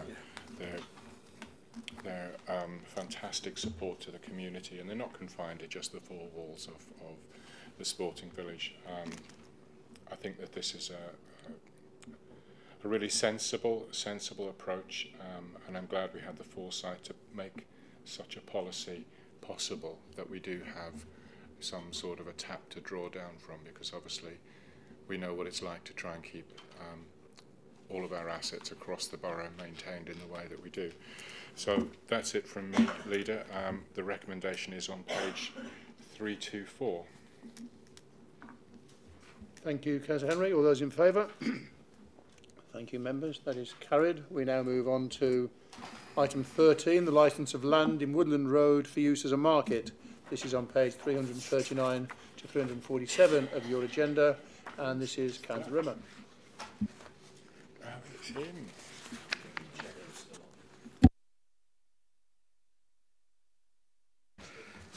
Uh, thank you, Leader. Um, actually, Councillor Sargent was speaking earlier, obviously, about the role of local councils, and this is another interesting development in that um, evolution of local councils, in the sense that here with this licence, what we're actually proposing is for Wickford Town Council to take over the running and the management of the market and actually see if they can create another revenue stream for themselves from that as well and make it and in a very bottom up way actually um, manage the market in a way that meets the needs of the local residents. Um, one of my officers and, and Paul um, they, and did a great amount of work on this. Um, Caroline and Paul did a great amount of work on this in terms of moving the market site when unfortunately we weren't able to continue it in the high street uh, due to um, the public consultation process.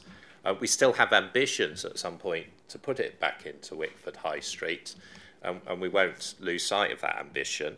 But what we have been able to make is on the Woodland Road um, a, a site that is suitable for a market and has been thriving as a market there, just slightly uh, different scale, it's fair to say. And but I think with this, with that local impetus from the town council, and with the accountability that comes with that, with being closer to residents, I think we could see um, quite a change there and a thriving Wickford market. So I, commend this report um, to the Cabinet. Thank you, Councillor Rimmer. Councillor. Okay, thank you.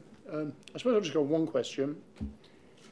Just from a best value point of view, the recommendation three of giving uh, Wickford Council a period of six months rent free for the kiosk, is that something that we feel is good value? Are we losing money as a result? Is it, is it best value? Um, the unit is currently empty, and our hope is that by regenerating the market and getting some more footfall up there, it will draw actually a, uh, a potential tenant for that unit. So at the moment, it lies empty, and we have nobody waiting on the list. So we're hoping to this use it as a marketing ploy to get people to. to well, I'm a great believer in seed funding. Uh, Councillor Yes, and one of the Wickford councillors has already come forward with an idea, and I think they've posited it with the town council, which is, I think, one of the, I think it's one of the food units in the market. I find that sometimes that their goods could be perishing if they're putting them out, and actually, if they use the kiosk instead, um, they would be able to keep produce fresh and be able to sell it. So that could be one opportunity, but obviously, um, it's it will be with the town councils to see if they wish to take that up. Yes, and I have heard that there's a, maybe a resident that's interested in selling shoes from it, I believe, as well. Uh, is my understanding. Right, did you want to wind up, Rimmer? No, I, I think um, I think that's um, been very useful, and thank you for your question, leader, in terms of the value for money aspect and opening it up in terms of the use of the kiosk. Um, and just would ask everybody to vote for the recommendations as set out on page 340. Thank you. Thank you. Those in favour? Thank you, members. We have that carried. So we now move to item 15, uh, which is uh, members IT, provision of equipment. This is on page 951 to 965 of the agenda. Um, this is Mr Young in conjunction with myself. Uh, I would point out that the nub of this report and at the heart of it is the cyber security and the very real threat that councils are facing from cyber attack and potential uh, malfeasance from people that are criminally orientated. We have seen the NHS who have had a huge cost of, I think the I have a a client of mine who worked the NHS on the, the time that they got hacked. And uh, his conservative estimation was it was a cost of one and a half million a day that it actually cost them with regards to the, um, the impact of that. Whether that is an accurate assessment or not, I don't know. But we have seen time and time again reports of cyber attacks on different organisations and different institutions, and we are obligated to ensure that we protect the council, because by protecting the council, we are by definition protecting residents. Because God forbid uh, we did have a cyber attack against the council, which cost us a huge amount of money, that actually translates to a lack of services, going into special measures, potential 114 notices, etc., etc., etc. But I want to thank officers because what they've done is recognise that in order to deal with this cyber security issue, that not one size is necessarily going to fit all. We have different members from with different ways of working and everything else, and the end result will be sitting down with members to find members the appropriate solution with the appropriate equipment in order to actually be safe from a from a uh, cyber point of view. But what it's not, and I know there will be some commentary from different sources that says it is, this is not some sort of freebie to councillors to give them free laptops or, or free equipment. This is a functionality, a requirement that in order to do the job, to do it efficiently and to protect the organisation, we're putting the appropriate steps into place. And in fact, given the changes to the IT allowance and given the fact that this will go to the Independent Remuneration Committee, it is anticipated that there will be uh, no additional cost, I understand, uh, for the provision of the equipment. But I don't know, Mr Young wanted to expand on anything I may have missed on that before we go to members. Thank you, Leader. Um, uh, I think you, you've covered it comprehensively, uh, Leader, in, in terms of your introduction. The only points I'd add, just for the purpose of clarity, Um, there is no recommendation in this report that members are gifted or given any equipment. This is a this is a, a set of recommendations that would require members to use council equipment, much in the same way that I am using the microphone on this desk at the moment. It isn't my property, but I am required to use it to fulfil my duties. The machinery would remain in the ownership of the council at all times. The recommendations in the report uh, to onward refer to remuneration panel are an attempt to mitigate any cost to the public uh, purse of the requirement to use that equipment. So there are two elements to the report there. And uh, leader, you have um, more eloquently than I uh, explained the, the reason that we're bringing the report tonight, which is the cybersecurity based re reason. One of the duties that I fulfil for the council is senior information risk officer, sometimes known as CIRO and we have identified as part of that role that cybersecurity represents the single highest continuing risk to this council of any of the risks that we monitor. So uh, the report is brought before members in that context. Thank you very much, Leader. Thank you, Mr Young. Kazi Goob. Thank you. As a member of the Overview and Scrutiny Committee, where we have extensively discussed these matters now, I'd like to begin by acknowledging the significant threat posed by the cyber attacks to the Council. Um, but I am pretty sure Councillor Rimmer's handouts to Vue Cinema will drive us to bankruptcy before a cyber attack ever does.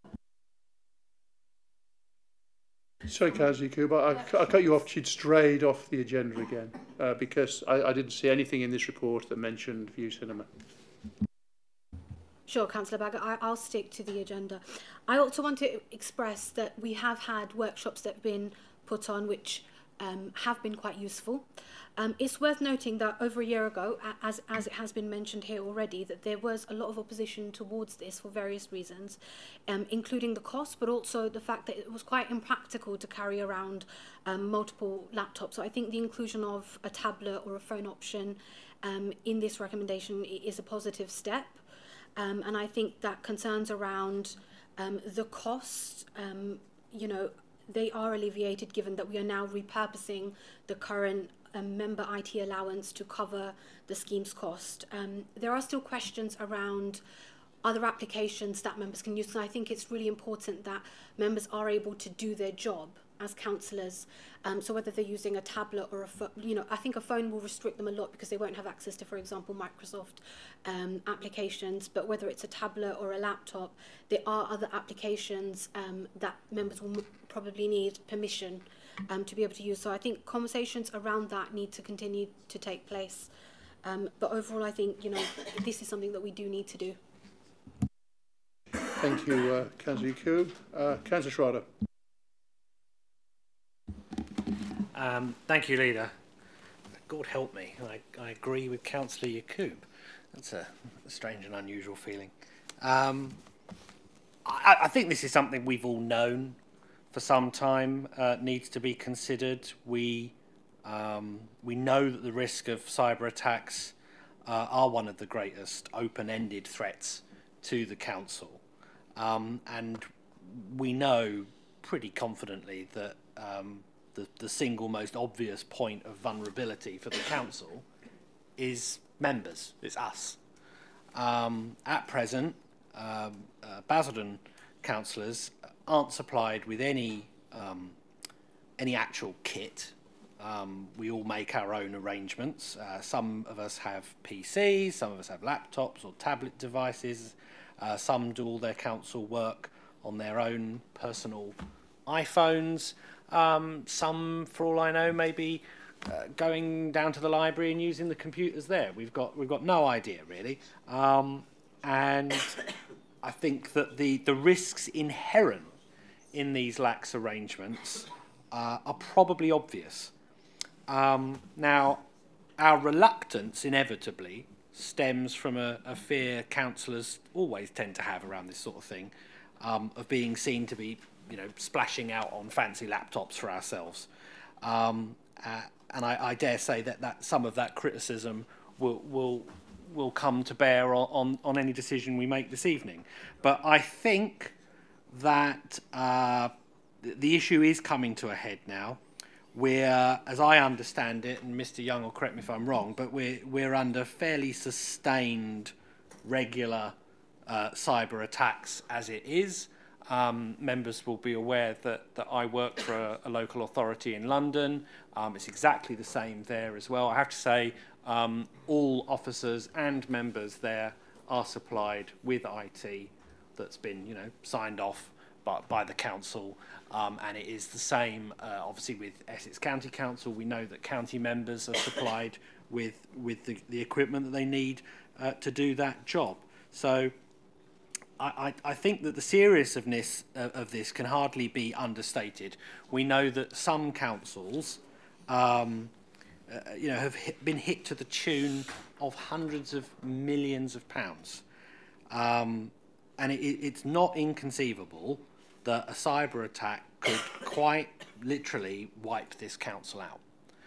So members need to be cognizant of the, the seriousness of that threat and also the security of our residents' data, particularly given that we are all data handlers. Um, many of us are, are, are, are often presented with fairly sensitive personal information by our constituents during the, uh, the course of undertaking our casework.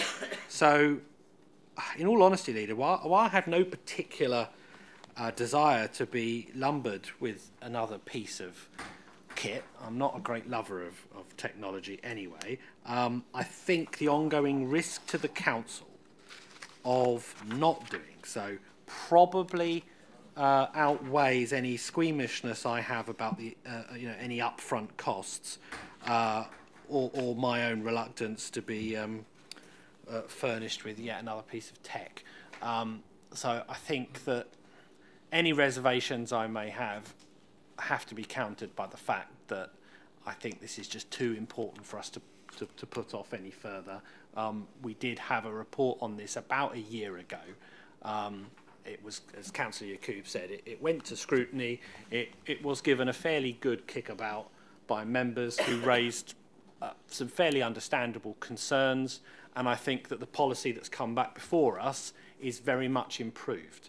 But it is still nonetheless as urgent now as it was then. And I think we need to proceed on that basis. Thank you, Leader. No, I think you've summated that very well, Councillor Schrader, and so did Councillor Yacoub, to be fair. I think that the key thing is we need to make sure we have a workable solution that members are comfortable with, but never forgetting that the driving force is the cyber security issues first, and therefore they, they take precedence, um, but not without actually having a level of flexibility in, in the fact that members will work differently in, in different ways. Uh, Councillor Henry. Thank you, Leader. Um, I think most people in conversation are just going, no, I don't want another bit of kit, I don't want this, I don't want that. I think for me personally, um, Councillor Schrader's covered a, a good bit of that, but what I would say is that since the, the creation of ICBs or ICS, um, I'm having more health conversations as a borough councillor than, I, than ever before. Um, I'm getting quite a variety of, of inquiries come through with information. It worries me that I get it on my mobile phone. I've gone through all of the, the, the normal narratives with IT here, so I've got a two-point um, access um, aspect on my phone, so I know the information's safe, but I think it could be safer, and I'd, I'd very much I don't particularly want another bit of kit. I've already got one one bit for Essex, and it's a pain lugging it about. And when you forget it, you can't. You feel like you've gone blind. But it's essential. It's absolutely essential. I've learned um, in the last couple of years as, as a cabinet member, I've learned to work with my team, and we we use Teams for everything. If I need an officer, I can go on and see if they're in a meeting, or see if they're out of the business, or see if they're on holiday or I can see if they're, they're green, in which case then now would be a good time to call them because they're showing as free. I can go on, they share very, very large files that aren't sent to me, that aren't taking a, a century to download or aren't crashing my phone because they're stored on a cloud base somewhere where this is um, safe and easily accessible, and I don't need to walk around with 15 stone agenda papers either, which I hope would be another output of, of this that we become or work towards becoming a paperless council because it is preposterous that we have somebody coming round to 11 houses with a thousand pages for each one, and that's without then whatever spare copies our officers might print should somebody else appear, um, or whether we've got guest speakers. So it's, it's preposterous that we do all the work that we're doing on biodiversity and the environment, and then we're sending around 15 trees, um, you know, for every meeting that we have. So I'm absolutely in favour of this. I don't particularly want the kit, I really don't, but I do want a solution that, that I can at least go to bed at night knowing that I'm keeping my residents that contact me safe. So I think it's a, it's, it's not a question really, it's just to get on with it. Thank you. Councillor Henry, I must be a bit of an eco-terrorist because I quite like paper, but uh, talking earlier, I know Councillor Rimmer uh, came up with a brilliant idea with regard to how we could save paper and also achieve, uh, you know, agendas, and so I think that uh, hopefully that will be carried through as we as we progress. But Councillor Rimmer. Yeah, thank you, uh, Leader. Um, no, I, I just felt that I, the idea was to actually not have so many enclosures and have links off to enclosures because I think, as one can see, the local plan aspect has probably taken about five to six hundred pages of this report because of the level of enclosures involved, which is is natural, but we they could have been linked off. In in respect of this, um, I must admit, I and, and I've shared this skepticism. Uh, I I actually am in the camp of cloud security as a whole, as you know, and less on the having too much hardware camp. And part of it is an eco reason on that as well, because obviously um, we're going to get to the point where you could be renewing laptops and devices every four to eight years, depending on how long they last. Obviously, there's rare earth materials that actually get used in this hardware. So there's an element of mining and how much natural resource in terms of our natural capital is actually um, destroyed as a result. Um, whilst, you know, if you're going down the cloud security route in the future, that's not a problem, um, potentially. Now, I am obviously, we need to come to a solution quickly because the threat is really there, and we've got to do one that actually works with um, our council resources and budget. So I am convinced that this is the right way for now to, to actually plug any holes in the dam to make sure that it's not breaking open. But I would like officers to think about cloud security for the future because I wouldn't want us to be in a situation where we're perpetually renewing devices. So I just want to consider. Um, I also wonder if there is actually going to be an aspect to cloud security with these devices because um, in respect, if one is given a laptop, so this is a question, by the way, sorry. If, if one's given a laptop, are you going to actually have to enter into um, into the cloud or into some form of security post that um, to separate whatever you might be doing personally on that in terms of work. So if let's say, for instance, um, we're writing up a motion for council, and we'd rather it wasn't out there on the on you know in the shared cloud for whatever reason, um, but we'd like to keep it secret until it's published.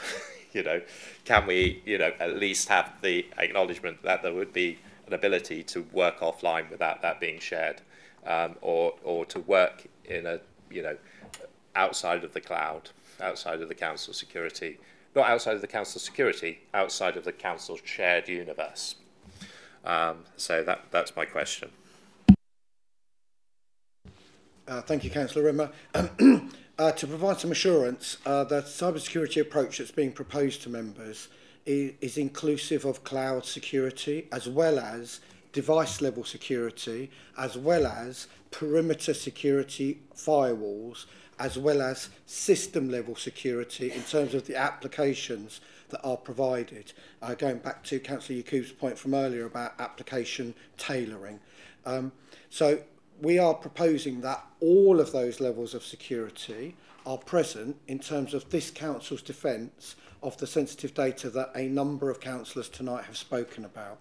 We don't see them as mutually exclusive levels of security. We see them as inclusive and they are all contained within the current cybersecurity approach that this council takes towards how officers operate that we are proposing to extend by the use of devices to members.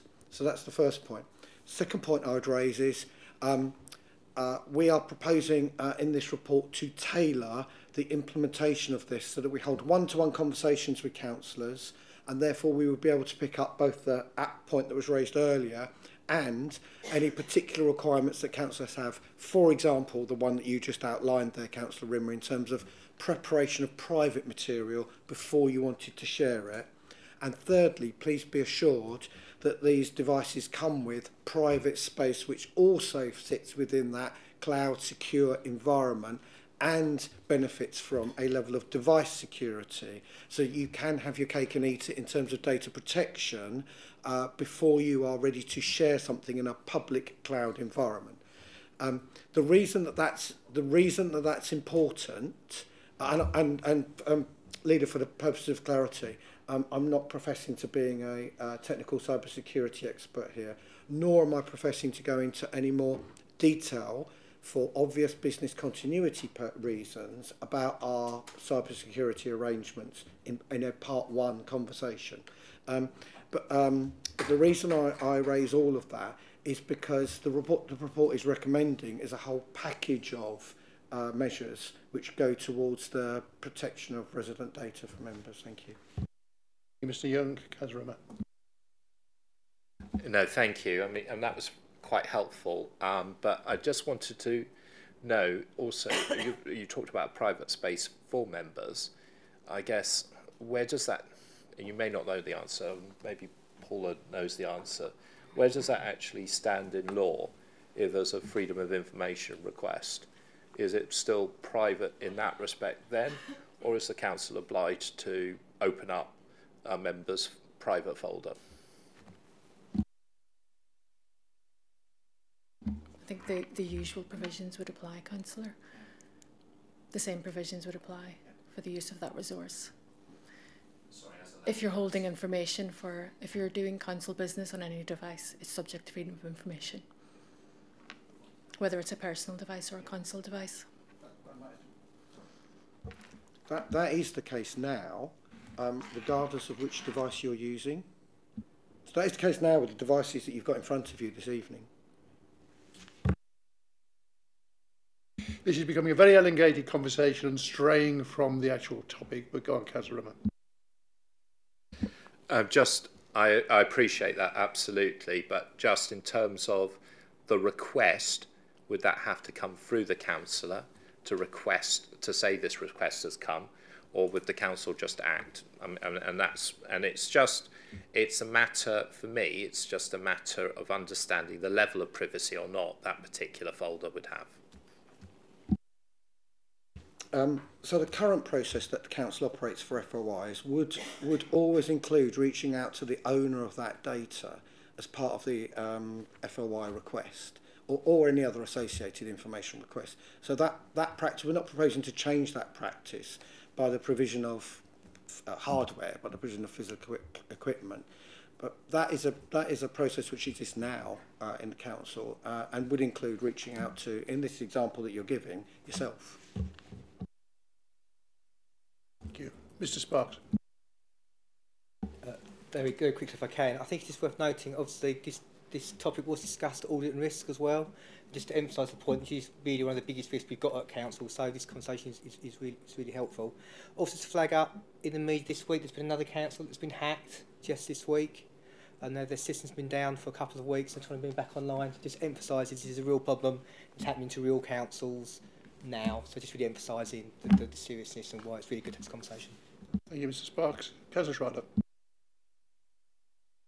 Uh, very, very briefly, it, it's it's quite tangential, but I just wanted to touch on the the, the comment that that Jeff, Councillor Henry, uh, made about um, printing, because I think uh, I, I don't know that it would make a huge amount of difference. Uh, I think a lot of us have a device that we could read our agendas on if we really wanted to, and we probably should. But I, I do think if we all had a laptop or, or a council laptop or a device of some kind that we were encouraged to read them on, I mean, fortunately, they're not all as ridiculous as this. But I do think actually at a time when we're looking at the cost of the council, the cost of paper and printing has gone up immensely. This will have cost a fortune. Um, and as Councillor Rimmer says, there are parts of it that probably could have been, you know, uh, we could have accessed electronically and didn't need to be in the printed agenda. But I'm just going to mention that the chap who delivers them all to us, I did actually speak to him because, of course, he couldn't get it through my door. Um, so he had to knock. Um, and I happened to mention to him that the mayor had passed away. And he, he asked, oh, uh, you know, where did, he, where did he live? And I told him. And he remembered delivering stuff to him. He said, oh, I stopped delivering to him a few years ago because he arranged that he, he didn't want any paper agendas anymore. All of his were sent electronically. And I remember thinking ahead of this, this debate, yes, of course. I mean, Luke would have thought this was utterly preposterous. He read all his agendas online, and I've reached the conclusion he was absolutely right. So I'm going to send a similar instruction myself. I prefer paper, I do. And I have a whole ritualised thing I do with my agendas, but I, I think as a cost this council doesn't require. So I think we should all all take a leaf from Luke's book. Thank you. Oh, you'll be espousing veganism next. Um, right. The recommendation is on page 952 of the report. All those in favour? Thank you, members. We now move on to item 16, the extension of the housing management IT system contract. Uh, again, this is myself in conjunction with Mr. Young. Oh no, it's is it Mr. Young? Is it? Okay. Um, again, we, uh, if you look at the boards outside, which show the history of Basildon Council, Basildon Council has been going for a long, long time. And in the same way that we have huge problems in the infrastructure of the council uh, across the borough with regards to patchwork ownership of land, legacy land, etc., etc., etc. We also have the same within our IT systems because the council has been going for a long time. Systems have, been, have come in, then other systems have come in to support them. Licenses have changed, the world has changed, and we've had to actually start to update our entire management system. Um, the extension of this contract, I understand, is is a victim of part of that because, if I'm correct, and I'm sure officers will correct me if I'm wrong, when we've actually put it out to tender, we couldn't get anybody else to actually um, bid for this particular system, which has actually necessitated keeping the current system we have, or we actually go out and, and find a more suitable system. But Mr Young, I'm sure you can be more eloquent than I have on this particular item, as myself and IT are not good friends. Uh, thank you, Leader. Um, so I think you covered most of the points the, um, the, ho the housing management system is, is planned for uh, replacement as part of the IT strategy that members uh, agreed in 2020. Um, so this is a planned piece of work. We went to procurement in good time. We engaged with the market. We are now on the second round of procurement engagement, having uh, clarified our spec and been able to attract a number of potential suppliers to the table. The, the delay between round one and round two of our procurements means that it makes uh, business continuity sense to seek an extension to our current provider so that there is no gap in provision between procuring a new system, uh, implementing that system and the ending of the contract for the current system. Uh, members have got two options this evening, which is an extension of one year or an extension of two years. Uh, given that there is a favourable rate that is provided for a two-year extension, and given that the significance and size and complexity of the system that we are replacing, uh, officers are recommending a two-year extension to give us ample uh, uh, continu uh, continuity and um, uh, sufficient uh, space uh, for the project to deliver uh, on time, uh, Chair. Thank you, Mr Young. And I do know that Councillor Headley, the uh, champion and cabinet member for procurement, has also been looking at this and he uh, was very, very clear that he would support that were he to be here. Councillor Yacoub. Thank you. I understand that the contract ends in July of this year. Um, why has this extension been left to the last minute? Uh, thanks, Councillor Coop. As I was explaining, um, we originally were not intending to extend, or we thought that we would have a very short extension such that the, the, the cost of that would fall below a, cabinet decision. Uh, but that was based on our first procurement round uh, with a, um, you know, a favourable wind in terms of making progress with that. Given that the market uh, re responded to us um, with, without coming forward with uh, potential suppliers, we then had to go through a, a second round of procurement, re-specify what it was that we were seeking and encourage the market to reply to us. We uh, have had success with that uh, and we are in conversation with a number of suppliers now. The gap between those two rounds of procurement has eaten into the contingency periods that we had in this project. So whilst we still remain confident that we would reach a position of a preferred supplier by the end of the current contract date, we have eaten into the implementation period for the new system. And given that housing uh, represents uh, such a significant aspect of this council's provision to residents, And given that the element of the housing management system under replacement is connected with rent and rental income and collection, uh, it's deemed too significant a risk to allow a, a, a shortened implementation period.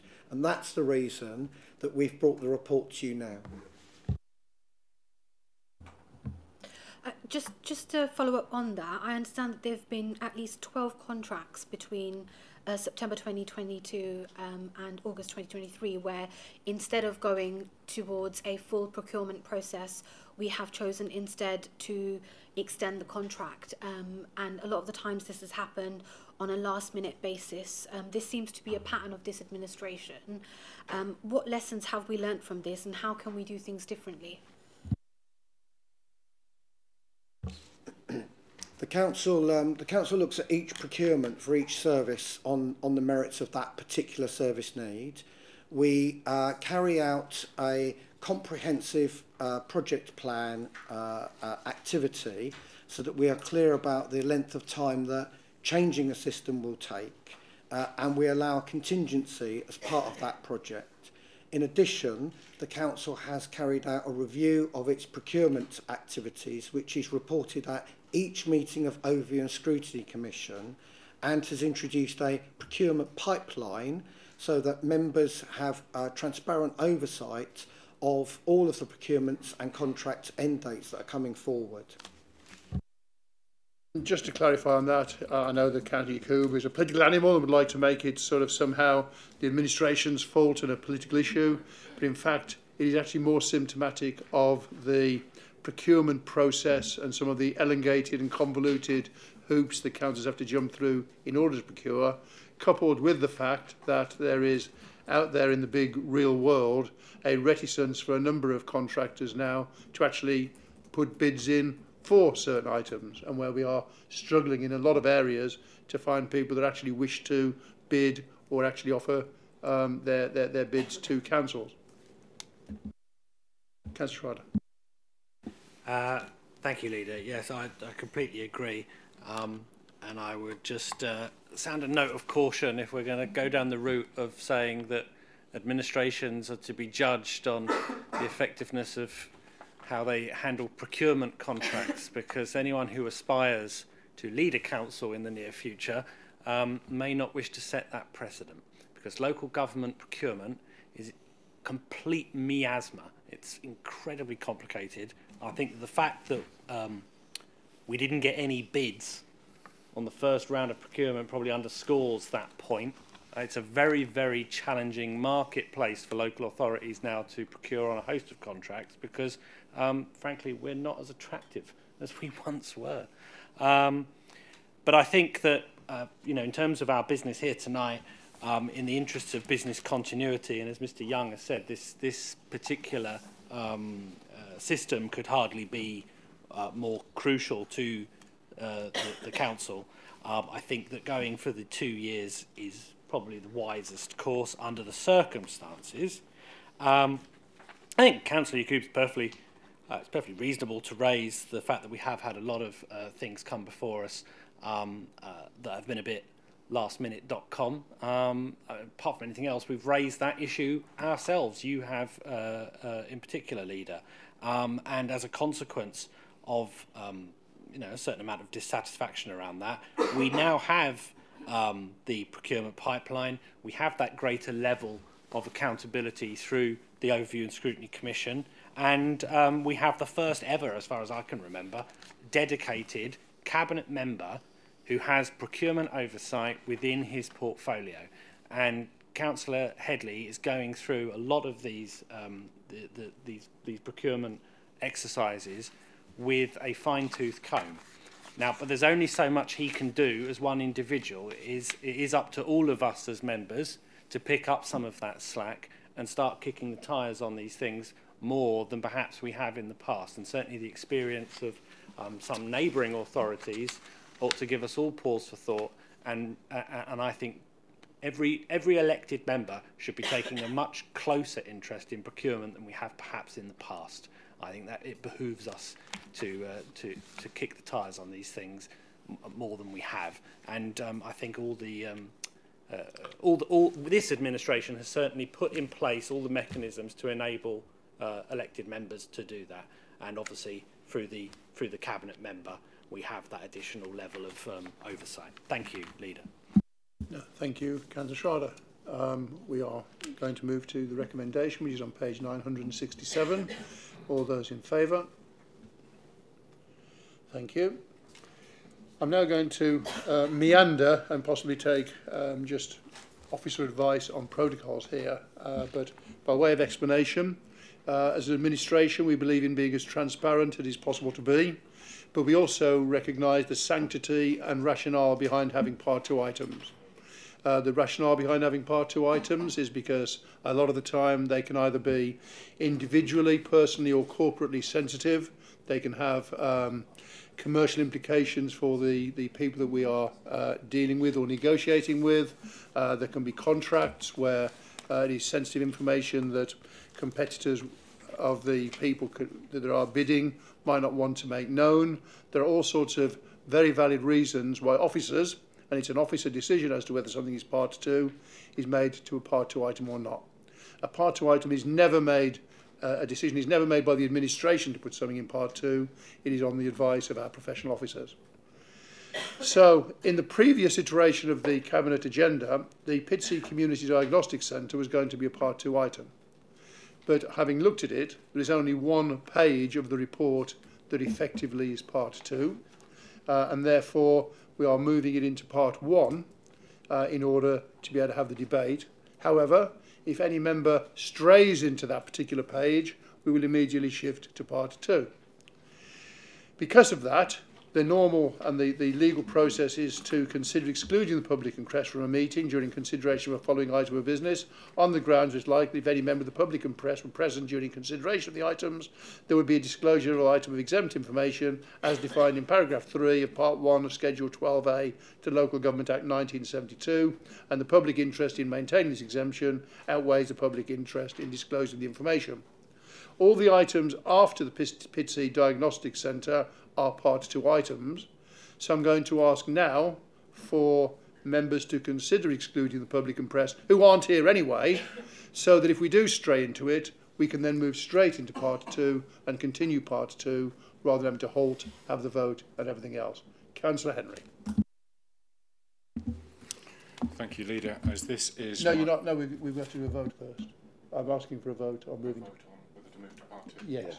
Yes. If, if it strays into it. without- Yes. If so, we are now going to vote on moving into part two if it strays into it, and that will carry over then to all the items subsequent on the agenda. All those in favour of excluding the non-existent public and press? Thank you very much. That means we can now discuss this item in transparency, but if it does stray over, we will turn off the webcast. We will have the discussion appertaining to that item, and the remaining items will remain in part two. Councillor Henry. Thank you, Leader. okay, the CDC program is a national initiative uh, with 2.3 billion of capital funding allocated to create community diagnostic centres. This is designed to improve health outcomes and reduce health inequalities. This report provides a program uh, a progress update on the delivery of the Pitsea CDC project and requests an increase in the previously agreed capital contribution needed from 2.6 million to 3.4 million for the replacement facilities. It also seeks approval for the delegation of any necessary changes to the leasing structure which might be necessary to deliver the development to the Director of Resources in consultation with the head of property. Jesus Christ. Our report was presented to Cabinet on the 22nd of June 2023, where it was unanimously approved that to develop a, a CDC in partnership with the Mid and South Essex NHS Foundation Trust and Essex County Council, together with the new facilities for both councils. The project was also considered at People's Scrutiny on the 9th of November 2023. Approval was granted at the Planning Committee on the 7th of February in um, minute item number 4 um, 2024 for the demolition of the existing buildings, the place and the ECC library and the redevelopment and the redevelopment of a site to provide a community diagnostic centre containing a new activity centre and library spaces. Since the last cabinet, the Trust have been able to undertake further design work and there have been a number of meetings between the Trust design team and both Basildon Borough Council and Essex County Council officers. The detailed internal design for all occupiers has progressed with the layout for Basildon Council operated space now agreed in principle. As a result of the changes, the amount of space required by the Council has increased by around 10% and therefore estimated costs have also risen. Additionally, building costs have been rising at 7 to 8% per annum, leading to a slight uplift to costs. The additional 7.5 development agreement contingency on council space has also been applied. As such, it is now recommended that Basildon Borough Council capital contribution be increased to 3.4 million. This will be a capped amount, removing the risk of further build cost increases to the council. And whilst the programme of works has not yet been finalised, draft timescales are provided within the report, and a draft timeline is the current estimate and may change as matters progress, in particular during the design works. However, the subject, um, subject to Trust Executive Board approval, um, the proposed start date of the site is expected to be from the summer of 2024. That's it. Thank you. Thank you, Councillor Henry. Uh, Councillor Yacoub.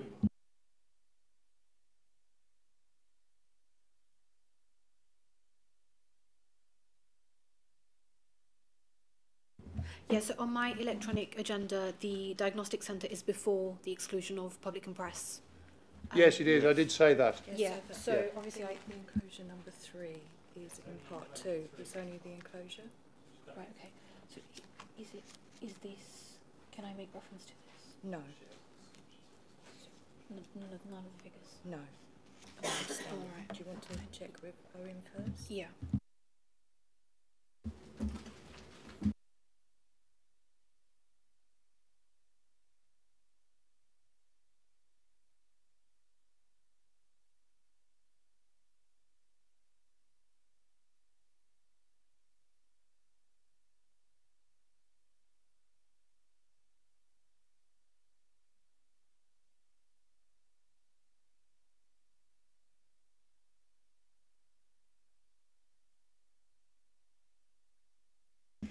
Councillor Coop. Um, so, so, in order for me to, to share my comments, we will need to go into part two. Okay, then we will move into, we will, we'll start and then we'll come to you, you afterwards. Yeah. Yeah. Because I think that from my point of view, if ever there was a reason why a community diagnostic centre is needed, it was evidenced with the tragedy that we, we felt upon ourselves last week.